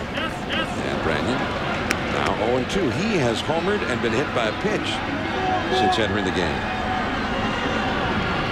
Sammy Sosa, though, you have to agree, he's a pretty good player, right? He's, he's really good. And he's kind of stepped up his game this year. I mean, not all around, not going to hit 66 homers, but he's become a great player on a very strong club.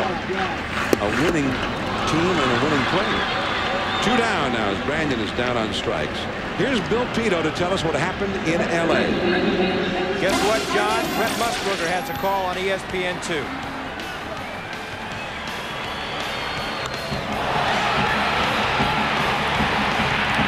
Sosa over the wall in right.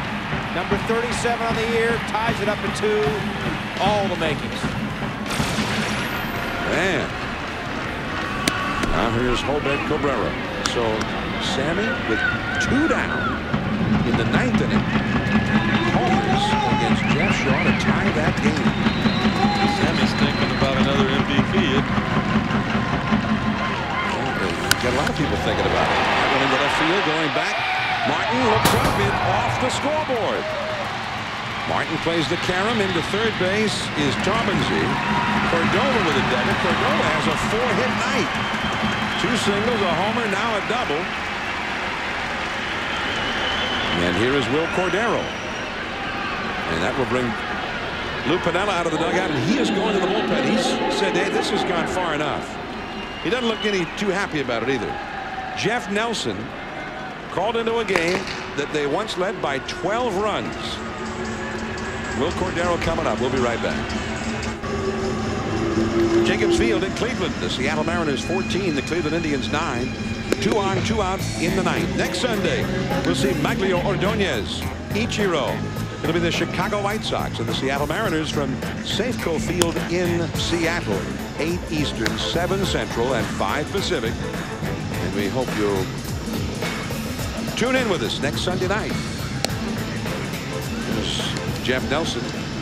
I mean, that's a great scene. Safeco Field. I mean, the, the crowd is electric. And a lot of excitement in that ballpark. Here's Jeff. Now, now look at those numbers. That, is that ridiculous? 46 innings. Actually, we're not even showing his hits allowed. But his batting average against, he's only allowed 18 hits in 46 innings. I've never heard of such a thing. And there's more good numbers we could put up if there were just more room on that board. Nelson's just too big. He takes up too much space. He's been outstanding this year with coming in with runners on base, leaving them there. He's inherited 31 runners. 28 of them have not scored. Ooh. He's been terrific in the first hitter faced. 49 times that he's come into a ball game. 40 times the first guy he's gotten out. Well, he and and the same on the second guy and the third guy and the fourth guy, right? I mean, he leaves them on base and nobody ever gets a hit against him. 46 innings, 18 hits allowed. I mean, that'd be like if you put that into nine inning increments. What's that? He given up two hits, three, three and a half hits every nine innings pitched. You know, Lou Piniella deserves some credit for that as well, for bringing him in to face right-handed hitters. His slider just dominates guys from that side of the plate. If it's a left-hander that would have been coming to home, Piniella would have had Arthur Rhodes up. Here's Cordero. Here's that slider down and away for ball one. Now, they're singing his praises, and they're well earned, but Nelson did give up a run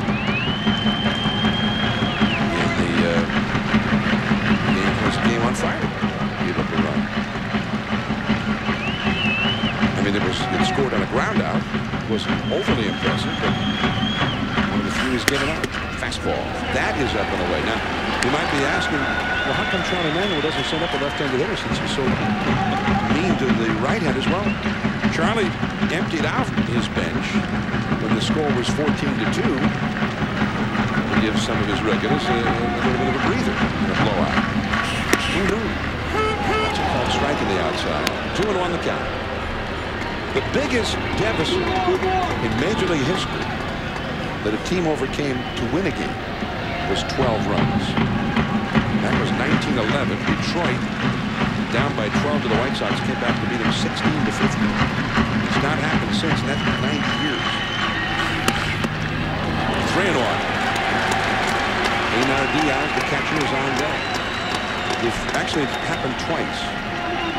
Cleveland blew a 12-run lead in 1925 to the Athletics. Lost the game 17 to 50. 1911 and 1925. Three and two to count. It hasn't happened actually since 1925. Although this weekend was the anniversary of the game back in the uh, 20s or the 30s where Cleveland got nine runs in the ninth inning against the Yankees chewed out of nobody out in New York to win a game. Slider just a bit high. And the bases are loaded. Ricky Nelson saw a lot of pitches giving him a workout. They've got another game against each other tomorrow here in Cleveland. Charlie Manuel has to be proud of his ball club. Proud that Cordero took that pitch just out of the strike zone, but his team has battled back to get the tying run on the on-deck circle. And Brian Price on the phone to the bullpen. So here's Einar Diaz, who had a single and a run scored in the seventh, an infield single and a run scored in the eighth.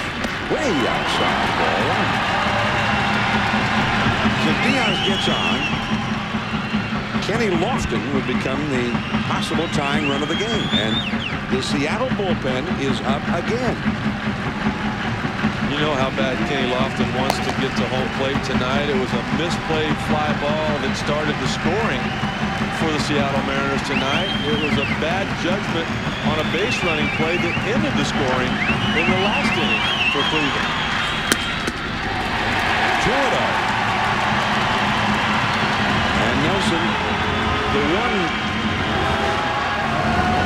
on the screen for him this year is that he does walk a lot of people. 29 walks in 46 innings, including the one that he just issued the Cordero, and now Price out to the mound. We've got Sasaki. This is already a rule book save situation. And Nelson did not inherit it. It has become a save situation because of his walk to Cordero. And the save situation is that the possible tying run is either at the plate or on deck. The possible run at the moment is on deck. Nelson cannot get a save, but Sasaki could. Which would be sort of a a small victory for Cleveland if they got him into the game on a night where they were down by 12. I don't think Nelson or Sasaki even had their spikes placed up. That's a strike. Two and one. Three men on. Taubensee at third base.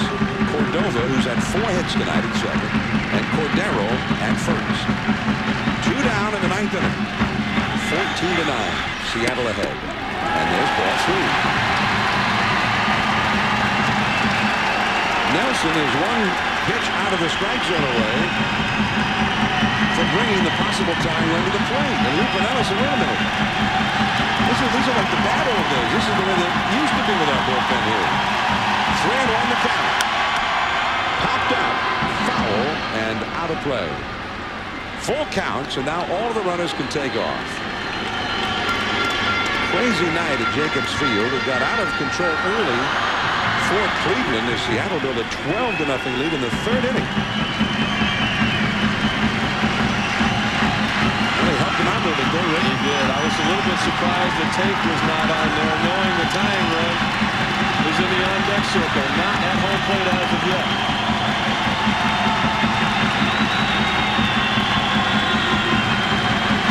Einar Diaz hitting 303. Go go the runners. Line drive base hit. Taubensee scores. Cordova scores. Cordero stops at second. And now Kenny Lofton will come up as the possible tying run. It is 14 to 11. A game the Mariners led as late as the seventh inning, 14 to 2. And now Sasaki will get the call. A lot of people that started their night here at the ballpark left early when their team fell behind, wishing right now they were still in the ballpark because the fans that are here are on their feet and excited. Kazu Sasaki in for the bullpen. He thought it might be a night off. Lofton coming up. We'll be right back. There is Kazu Sasaki, Daimajin, which means giant man or giant hero of a man that saves the people. 300 career saves in both Japan and the United States. Lifetime, when you combine the two, 35 saves this year. And he has been the Mariners version of Mariano Rivera. And Kenny Lofton is coming up against Sasaki. It's been a tough night for Lofton. The four-run second inning began with one out on this drive to center by Martin, which Lofton initially misjudged, then played into a double, and then this ill-advised dash from home to the plate in the eighth inning for the final out of that inning with the score 14 to 9 but he gets another chance to do something great to help the Cleveland Indians. Two men out. Two men out.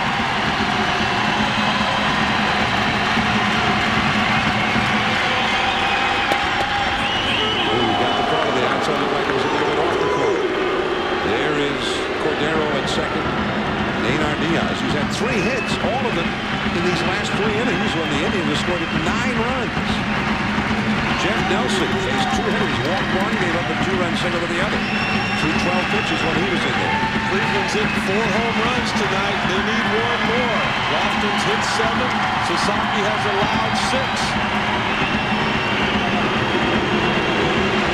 I mean, in some way tonight, Sasaki well checked out of this game mentally, right? 14 to 2 in the seventh inning. Well, it really looked like Jeff Nelson had. That's not the Nelson that we've seen the last four or five years.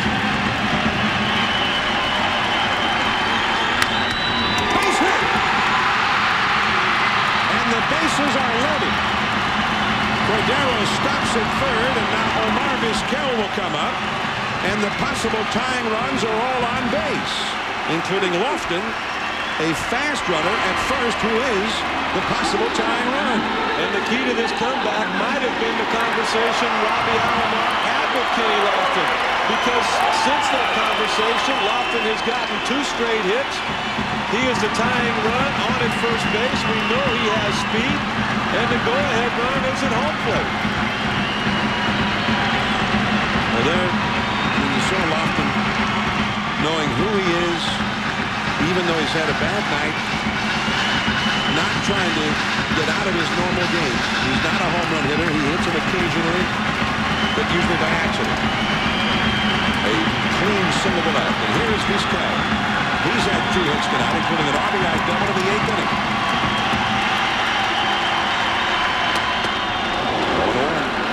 Changed up on it.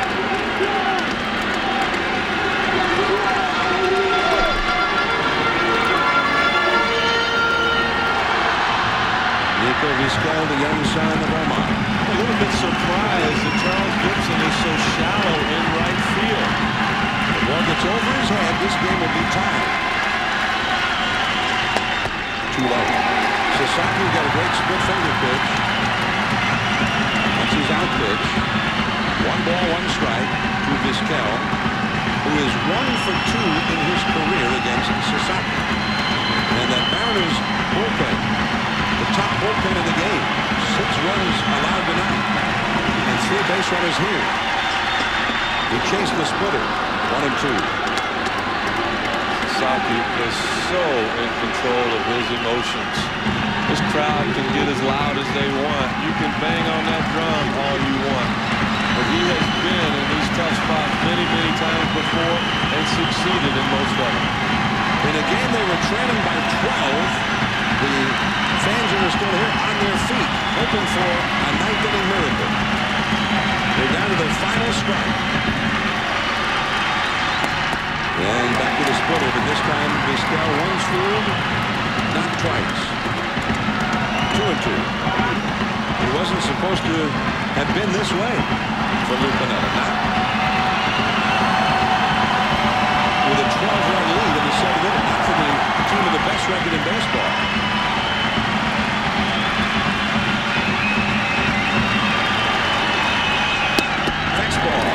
Sneak one by him, but it was a little bit low. I mean, he snuck it by him, but just a little bit low. Three into the count, and now they're be running. And Lofton, a possible time run at first, to get those extra few steps. So on a, an extra base hit, he could much more easily score the tying run of the game. Cordero, Diaz, and Lofton, there they go. Got a piece of it to stay alive.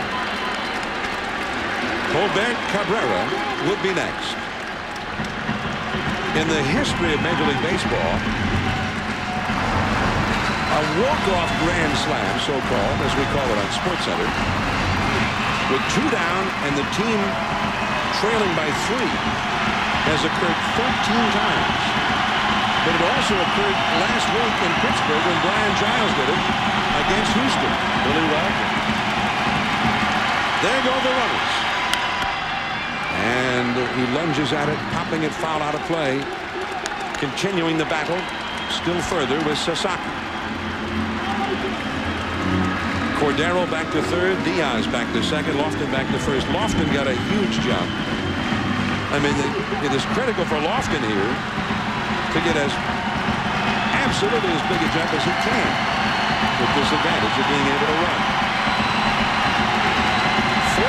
14 to 11 Mariners. Three on, two out. The runners go. Down the line. It's headed into the corner. One run is in. And it goes through. They have tied the game. On a third. It's 14 to 14. Unbelievable. They have come back from a 12-run deficit and tied the game. Now they can go for the win. And they are delirious in downtown Cleveland.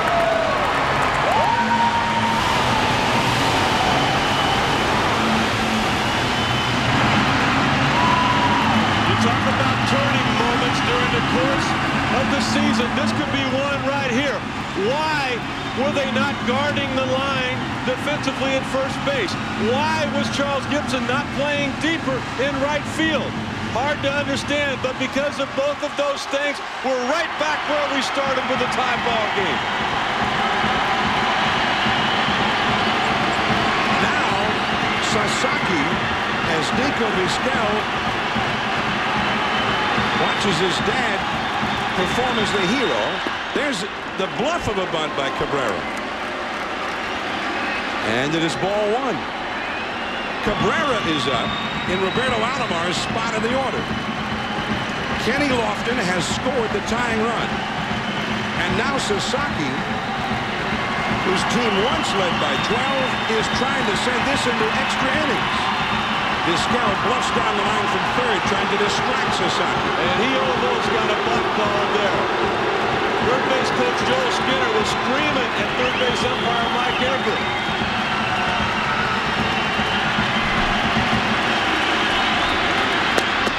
Too low.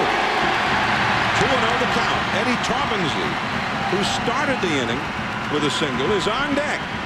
It has been 76 years since any major league team came from a 12-run deficit to win a game. That happened at the expense of the Cleveland Indians. 2-0 the count. 3-0.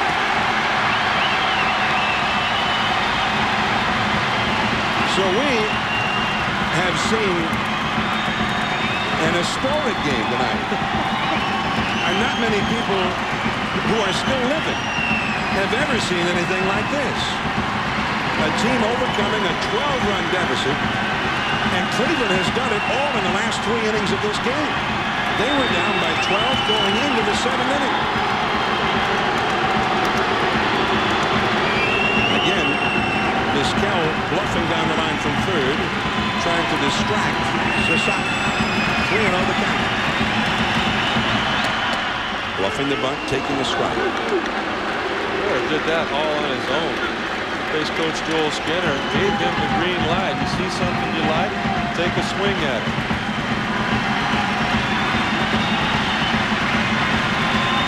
Norm Charlton charged with the first two runs of this inning. Jeff Nelson charged with two runs in this inning. Three and on the count. Down to third, David Bell. And uh, a little bit high and wide, but saved over there by Sprague. The Cleveland Indians get three in the seventh, four in the eighth, and then, incredibly, five in the ninth inning. Five of them after two men were down. Omar Vizquel with a three-run triple, and this game goes on. ESPN Sunday Night Baseball in our 12th year of covering Major League Baseball on Sundays. But we've seen a lot of things over the years. Never anything quite like what we've seen here. A blowout. Both managers removing star players in the late innings in concession to the Mariners' lopsided victory. Now we're in extra innings. It is 14 to 14. Sometime when it's all over, and who knows when that would be, Sports Center will come up. So stay tuned for that. All of the goings on in the day, but much of it would pale in comparison to the unlikely comeback of the Cleveland Indians here tonight, whose ballpark had become friendly for just about everybody in the American League except for the home team lately. Sports Center coming up next, followed by baseball tonight. Well, Cleveland started looking right at home here at the Jake, and now they go to the man who's been their closer most of the year, Bob Wickman. That's another thing. The Mariners now have already used two of their top relievers, and Charlie Manuel is just going to one of his late inning stoppers for the first time. Wickman misses outside to Stan Javier. Javier batting in the spot formerly occupied by Edgar Martinez. Javier came up as a pinch hitter in the seventh. Ed Sprague, rather than John Olerud, is on deck.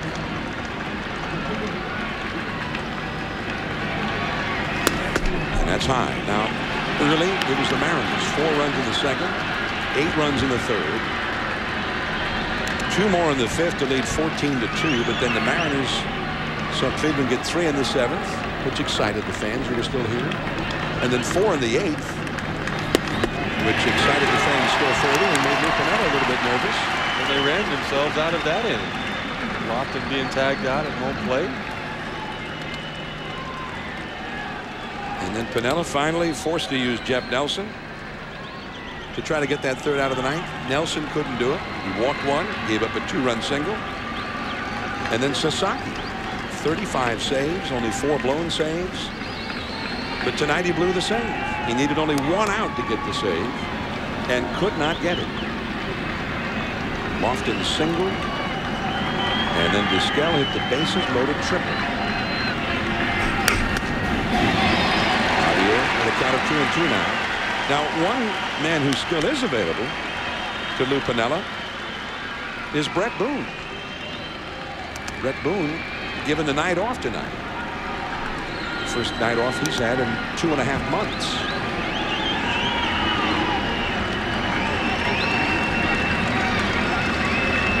Fourteen to fourteen, Cleveland 19 hits, Seattle 16 hits.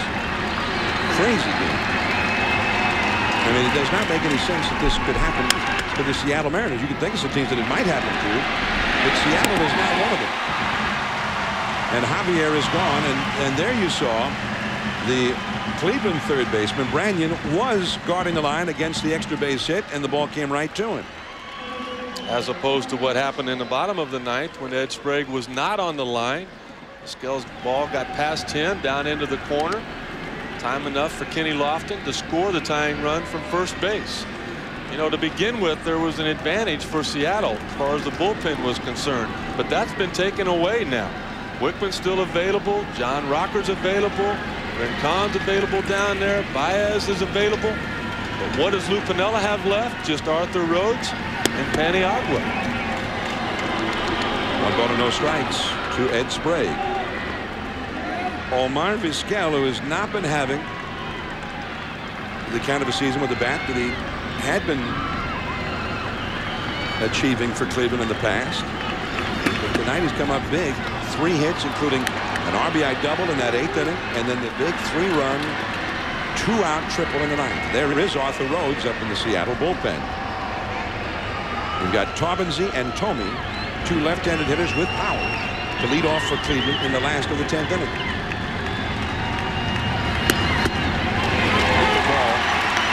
Fastball with movement, a cut fastball on the outside.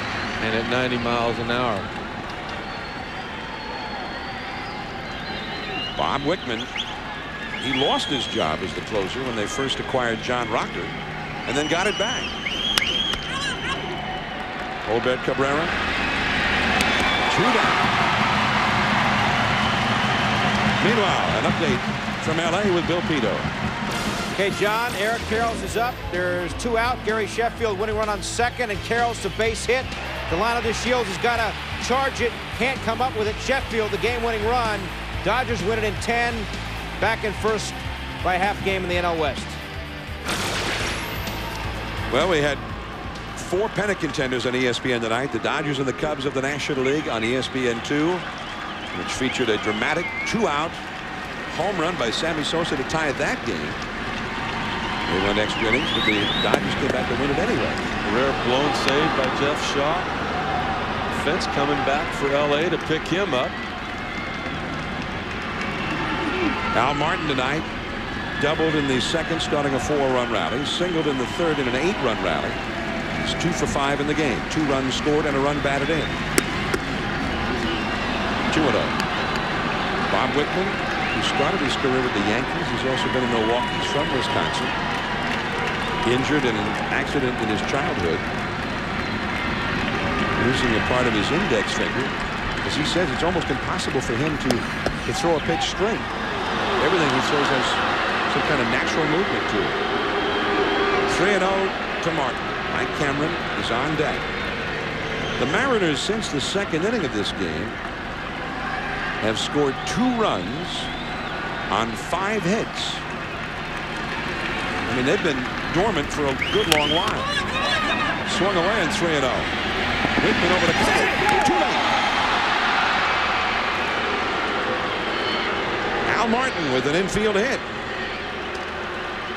Well, Cleveland did everything they possibly could on this play, but the speed of Al Martin just too much to get the out. Thome came off the bag, fielded it cleanly. Wickman hustling over, but that's the athleticism that Al Martin has always had. He's got speed. He's got power. Just not enough consistent contact to be an everyday player. Look at him turn it on. Now Cameron, who's had three hits tonight, as we see the play at first. Uh, made the call there for John Shulock, the crew chief. Cameron is at two balls off the left field wall. It seems like a whole different game. I mean, really, it is. We've had two different games here tonight. Two different blowouts. Kirby Puckett wasn't even in the Hall of Fame. I mean, he'd been elected, but he hadn't given his speech yet. Now, Martin used to be a very fine base dealer. He's stolen eight bases so far this year. With two down, is this a spot to look for a chance to steal. Yeah, but this is a rare closer that's difficult to run on. Out of play. One ball, one strike to Campbell. And as Piniella does a lot of times, I've noticed the last couple of years, in a sacrifice bunt situation, he doesn't put it on right away. He gives his hitter one free swing, one good pitch to take a look at. After that, then he starts to manage a little bit. Possibly the same thing here. He wanted Cameron to have one swing at it. See if you can do some major damage. All right, you didn't get it done. Now I'll take the game into my hands, try to create some movement on the infield. Stepped off the slab first, then bluffed the throw. Now that play coming in from manager Charlie Manuel, wanting to see if Martin will tip his hand that he might be running. It looks like he's going. With the control of Wickman, you could afford to call a pitch out. Now, he, he didn't get a very big lead before that last move by Wickman. Shows that a little bit more here. There he goes. But right back to Wickman. And the inning is over.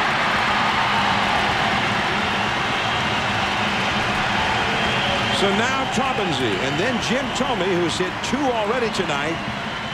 It's tied. ESPN Sunday Night Baseball. The Mariners 14. The Cleveland Indians 14 last of the 10th. And there's the view of the Jake in downtown Cleveland from the Goodyear blimp Spirit of Goodyear. Goodyear asks the question, have you checked your tires today?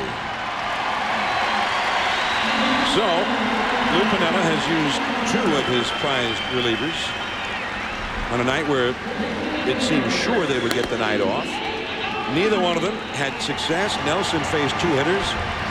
They both got on base. They both scored. Sasaki came in to get one out to end the game. Couldn't do it until giving up a single and a triple, and the game was tied.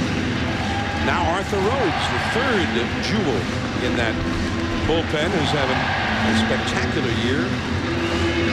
And Piniella's hoping, I'm sure he'll have a little bit more success than the other two guys did.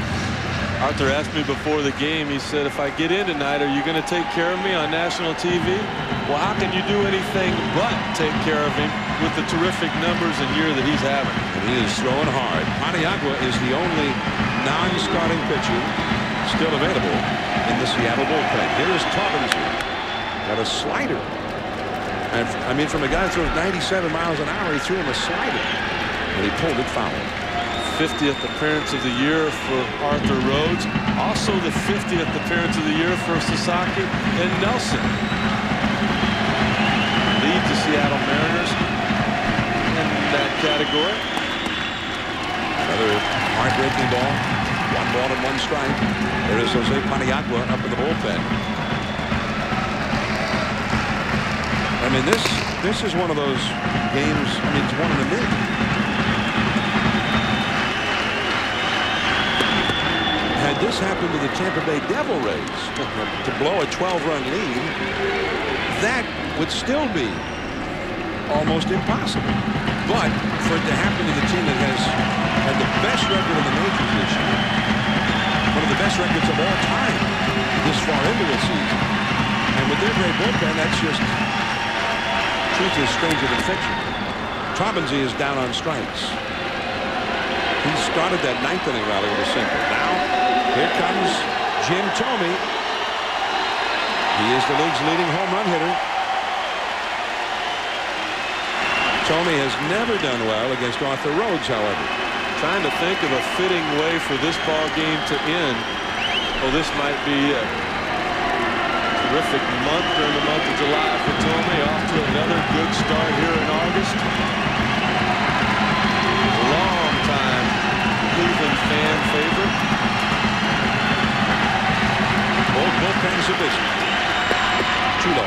Not only is Thome the league's leading home run hitter, but since the 1st of July, he's also been the league's hottest hitter. 12 homers, 39 RBIs in the month of July alone.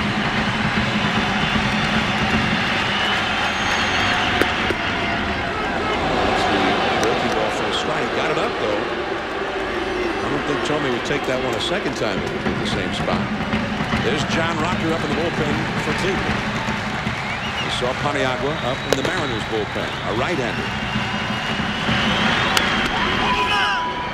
Ed Sprague waves off Arthur Rhodes, and Rhodes gets those two lefties. Two down. And there's still another lefty coming up, Russell Branyan. No question, this game means a lot more to the Cleveland Indians with Minnesota losing tonight already than it does the Seattle Mariners. Seattle comfortable with a 20-game lead coming into this tonight's affair. They know they're in the postseason. Everything's in order there. But what a lift this would be for Charlie Manuel's team, who has been sputtering the last 10 days. Two down, nobody out. Here's Branyan, big and strong. Has a home run tonight. Slider low for ball one. Branyan has never faced Arthur Rhodes in a game. There's Omar Vizquel, who drove in four of the runs in the last two innings, including the two-out bases loaded triple in the ninth to tie the game.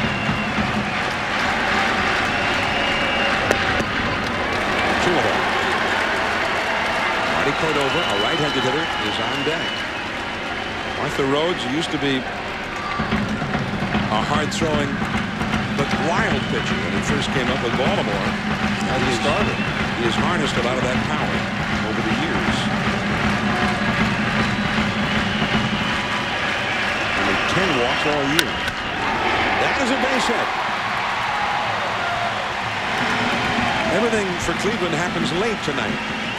The comeback didn't happen until the late innings. The big hit by Vizquel didn't happen until two were out. In fact, the whole five-run rally didn't happen until two were out in the ninth inning. And everything happening with the bottom part of their lineup. As far as the runs scored are concerned, Thome scored twice with his two homers. The sixth spot has scored twice. The seventh spot has scored twice. Eighth spot once, and the ninth spot has scored three times for Cleveland. And that's too low to Cordova. Cordova has four hits. Two singles early, and then in the eighth inning, he hit a two-run homer that made it 14 to 5. And in the ninth inning, he got the first of the clutch two-out hits that kept the game going, and he doubled. Two of oh. them. Cordova with four hits, that equals his career record.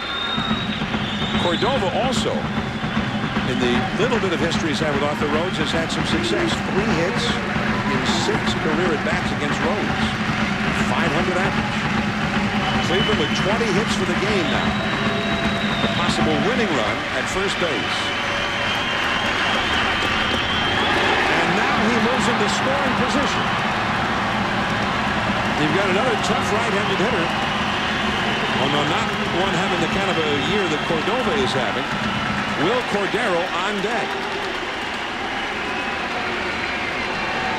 Mean, Lou Piniella must be thinking that he, he must be thinking that he's dreaming this. This is the things that happened to Lou Piniella when he tried closing games with Jose Mesa. Some of the guys of his past. It's where a lot of that gray hair we see with Lou Piniella came from. He's starting to get his color back with the bullpen he's had the last two years until this game tonight. He's just got to be in disbelief. Three and all the count. Came after him with a fastball. Three and one. Now a base hit would end the game, most likely. The guy with the best arm in the outfield for Seattle, Ichiro, maybe the best arm in the league, is no longer in the game. He walked it. Cordero. Look at that. Three innings out of the bullpen tonight. Nine earned runs, which is impossible. Oh, and by far the best bullpen in the American League coming into tonight's affair. And against a Cleveland Indian lineup that did not have the regular lineup they started still intact. All-star Robbie Alomar not in the game. All-star Juan Gonzalez out. Ellis Burks is out. Travis Fryman's out of the ball game. The Charlie Manuel's ball club had no quit in them. They were able to keep Seattle Mariners scoreless the last five innings, and now with an opportunity for a victory. Bryan Price out to talk to Arthur Rhodes. Mark McLemore, the second baseman and catcher. Lampkin also joined. Well, you know you got a right-hander. They're making a switch in the outfield here. They just moved Gipson, the right fielder, to left, and they moved Martin, the left fielder, to right. Well, they're moving the better arm to right to left field. Gipson's got a strong arm. We saw that earlier. Ooh, man. Came after him, and Cordero, he didn't miss that one by much. And, well, and, and that kind of surprises me because with the velocity of Arthur Rhodes being in the upper 90s, you would figure Cordero might be late and the base hit would go to the opposite field. It's not a given that he's going to be able to pull Arthur Rhodes. He was late on that first fastball. 0-1. And the sharp breaking ball.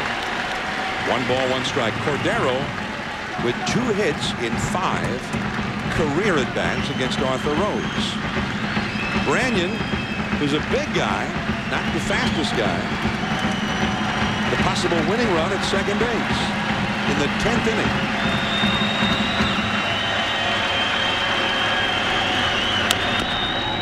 And that's foul. One ball and two strikes. Lou Piniella's got the right-hander Jose Paniagua up and ready to come into the ball game. You got a right-handed hitter at home plate, but when the guy on the mound for you is a perfect 6 and 0 on the year, he's not lost a game yet this year. You want to let him make the pitch that determines whether he wins or loses this one.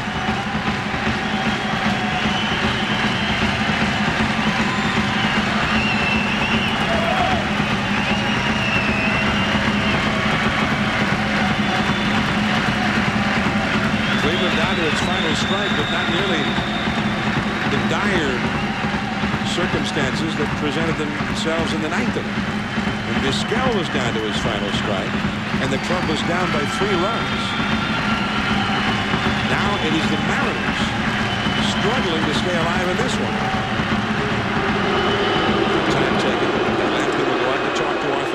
This is where the game of baseball has changed. That unwritten rule about having a big lead late in the ball game. You shut your running game down. You don't take the extra base. Well, what is a big lead nowadays? You saw the Pittsburgh Pirates come back with seven runs in the ninth inning to beat the Houston Astros. What we've seen tonight, 12 runs in the last three innings against Seattle. This is a whole new era now. This is an offensive time in the history of baseball. Struck him out. Great pitch by Arthur Rhodes. And we move on to the 11th inning. 14 to 14 from the Jake. Now John Rocker into the 11th inning of a 14 to 14 game. And uh, for the Seattle Mariners, Carlos Guillen, David Bell, and Tom Lampkin due up the last third of the batting order. See Rocker's overall numbers for the year. And uh, he got roughed up a couple of times here after coming to Cleveland, enough so that he lost the uh, job that he was handed when he first arrived as the closer. Well, the biggest thing that Bobby Cox got frustrated with, with the inconsistency with Rocker as his closer, was the fact that it seemed like almost every at bat was a five or six pitch at bat. Rocker's got a straight fastball. He's got a big breaking slider. It's not like Bob Wickman with the sinking fastball or Mariano Rivera, Jeff Shaw with the cutter, where they throw a couple of pitches, it gets put in play, and you have easy outs. Seems like everything that Rocker does is, is tough to do. Strike caught on the inside to Guillen. Guillen, a hitter, batting right-handed. He is one for five in the game. His one hit was a big one. A two-run single back in the third inning that made the score eight to nothing Seattle. Mariners on their way to a 12 to nothing lead in the third inning. 14 to nothing by the fifth, or 14 to 2 rather by the fifth inning. One ball, one strike. Now, in those first five innings, the Mariners had 14 runs and 14 hits, but in the last five innings, no runs and three hits. While the Cleveland Indians scored 12 runs and 13 hits in the seventh, eighth, and ninth inning for this game. Back there with the slider, nice pitch. Strike two.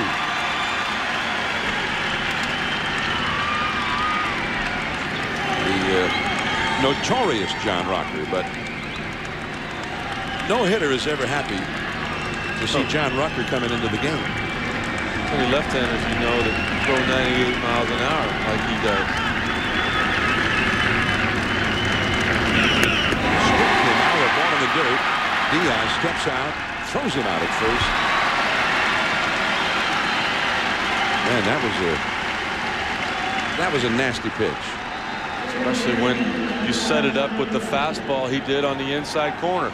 At that point right there, you're not sure what it is. And by the time you commit to it possibly being a fastball, then you see the rotation. You're well out in front and an easy first out for John Rocker. Now David Bell. Bell, like his colleague Guillen, facing John Rocker for the first time in his career right here. Strike. Again, easing one through there, a breaking ball. Now on deck, instead of Tom Lampkin, Bret Boone, who was the Mariners' home run and RBI leader. He has come out and apparently will bat for Lampkin. Is going to empty every player Lou Piniella has tonight because Wilson will come in to catch if Boone hits. Paniagua will probably come out to pitch. And that's it. It's the full complement other than starting pitchers. And of course, uh, Charlie Manuel long ago emptied out his bench. He's got 12 pitchers, or only a four-man bench, and he all of them up early on. I mean, and, and in that regard, there haven't been a whole lot of managing by either manager because both managers started taking out their star players when it was a blowout. And giving their some of their regulars the rest of the night off. Charlie Manuel has uh, made some pitching changes and done a lot of cheerleading. Two and one the count to Bell. Maybe some of that strategy is overrated. I mean, he couldn't put in his lefties or righties or match up or whatever. Or he, he only had what he had. And you see, Branyan came in in the fifth inning. Taubensee in the sixth inning. Cabrera uh, in the sixth inning. Cordero in the sixth inning.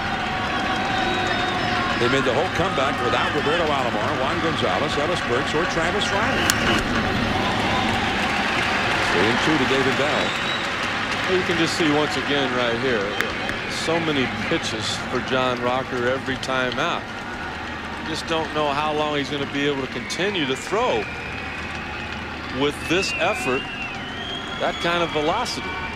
Look at the maximum effort right here. You got a 3-1 count. You got a right-hander at home plate. Take a little off, turn it over on the outer half of the plate, get you a ground ball, and you can do it for 10 or 12 years.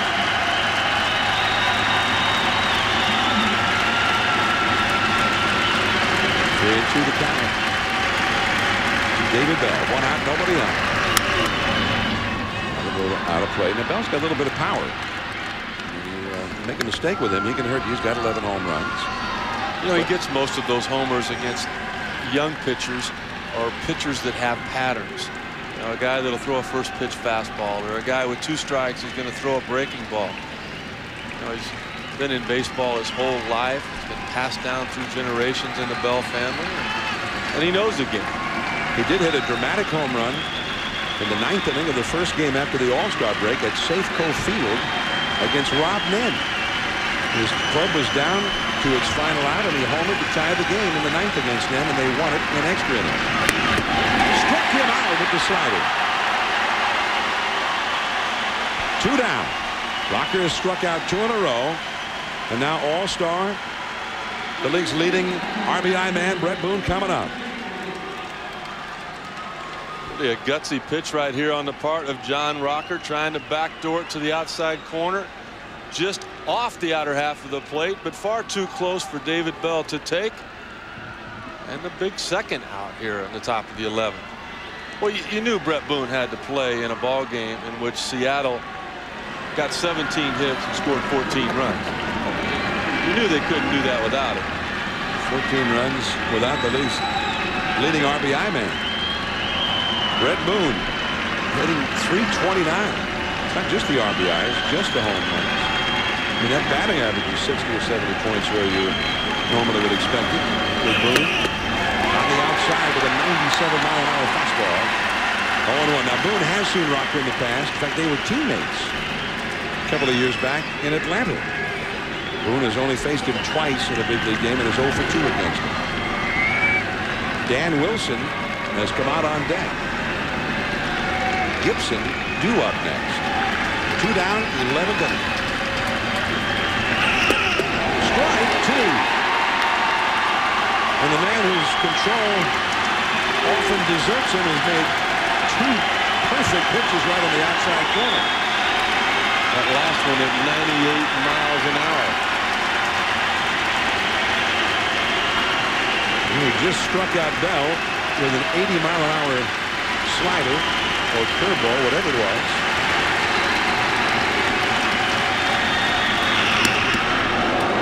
Well, we got that one a cool 100. Just a bit outside. You could hear you could hear John Rocker from upstairs. we don't need those microphones down on the field. He was trying to throw that baseball through the catcher, not to him.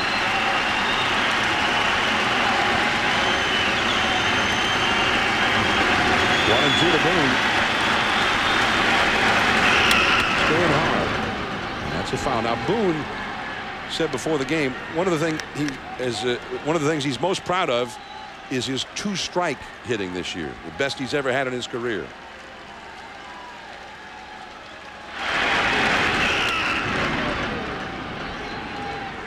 That's what you were talking about. That's also what I'm talking about with how many pitches it takes. It could possibly be a one, two, three inning, but already 15 pitches. This will be the 16th. That's a lot when you're going to expect the guy to come back and maybe pitch tomorrow night or the night after.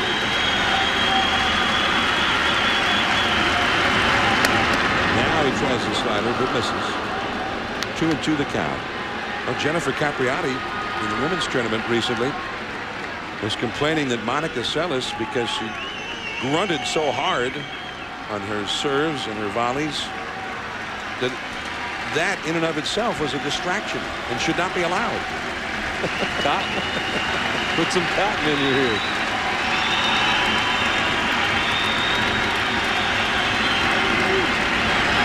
Slider got him swinging. Rocker strikes out the side. And again, Cleveland will try and win it. Einar Diaz, Kenny Lofton, and Omar Vizquel coming up. 14 to 14. The game is still going, even though the Indians were dead and buried long ago. Sunday night baseball. The Mariners 14, the Cleveland Indians 14, last of the 11th. Still going in Cleveland. The reports of the death of the Indians tonight was uh, greatly exaggerated, apparently. Jose Paniagua, the new pitcher for the Mariners, the seventh Mariners pitcher of the night. And the only thing pitching coach Bryan Price could tell Jose Paniagua is, I don't know if you're going to win this game or I don't know if you're going to lose it, but you're going to complete it because you're it. A few other changes in the field now with uh, a new catcher, new second baseman, a new alignment in the outfield behind Paniagua. Einar Diaz, who is three for five, will lead off against Paniagua. Diaz had to feel a little bit left out. He singled and scored in the seventh, did the same in the eighth and the ninth. Did not hit in the tenth. Popped up by Diaz, who had three hits in those three late rallies. One in each inning, but Guillen grabs it, and there is one away. Brett Boone stays in to play second base. After pinch hitting for Lampkin, the catcher, Dan Wilson comes in to catch.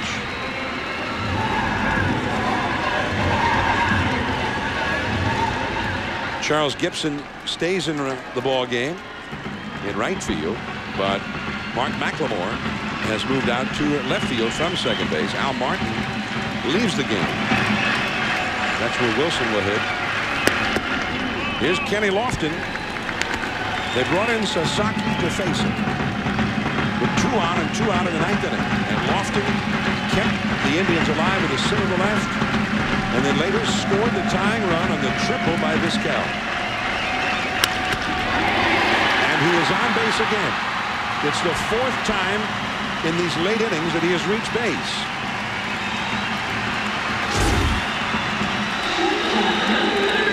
Here's what happened earlier in the ball game. Watching come underneath that and the easy pop up to the third baseman. The assistant hitting coach for the Cleveland Indians, Robbie Alomar, talking to him about his hand. You've got to stay on top of the baseball. Even though that ball was down, he was able to get on top of it, hit the ball on the line, as he has done the last three times.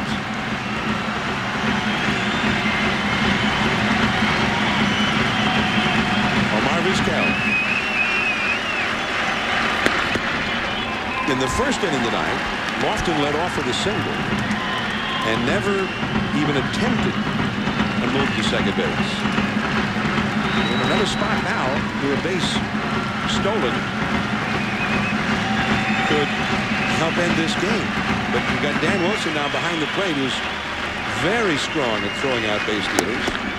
But again, as we were told before the game, Lofton rarely runs right now. Only 11 steals all year. He's been thrown out eight times.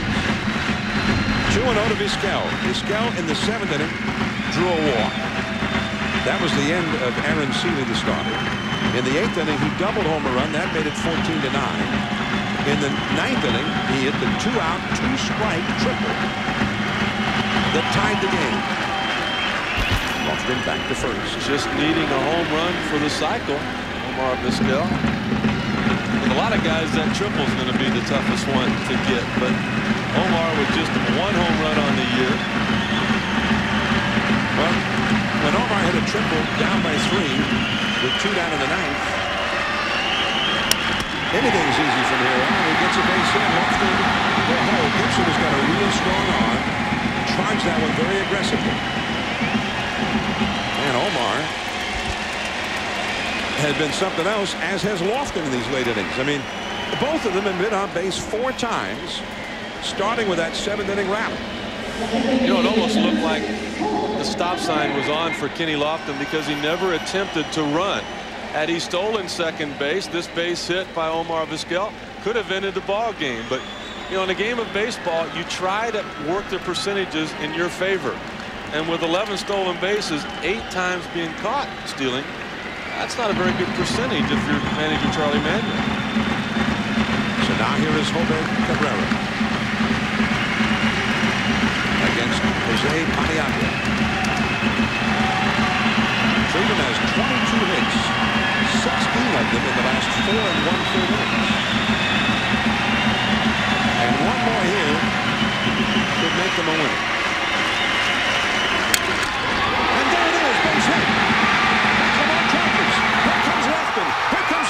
goal. Greaves, and Cleveland has won it.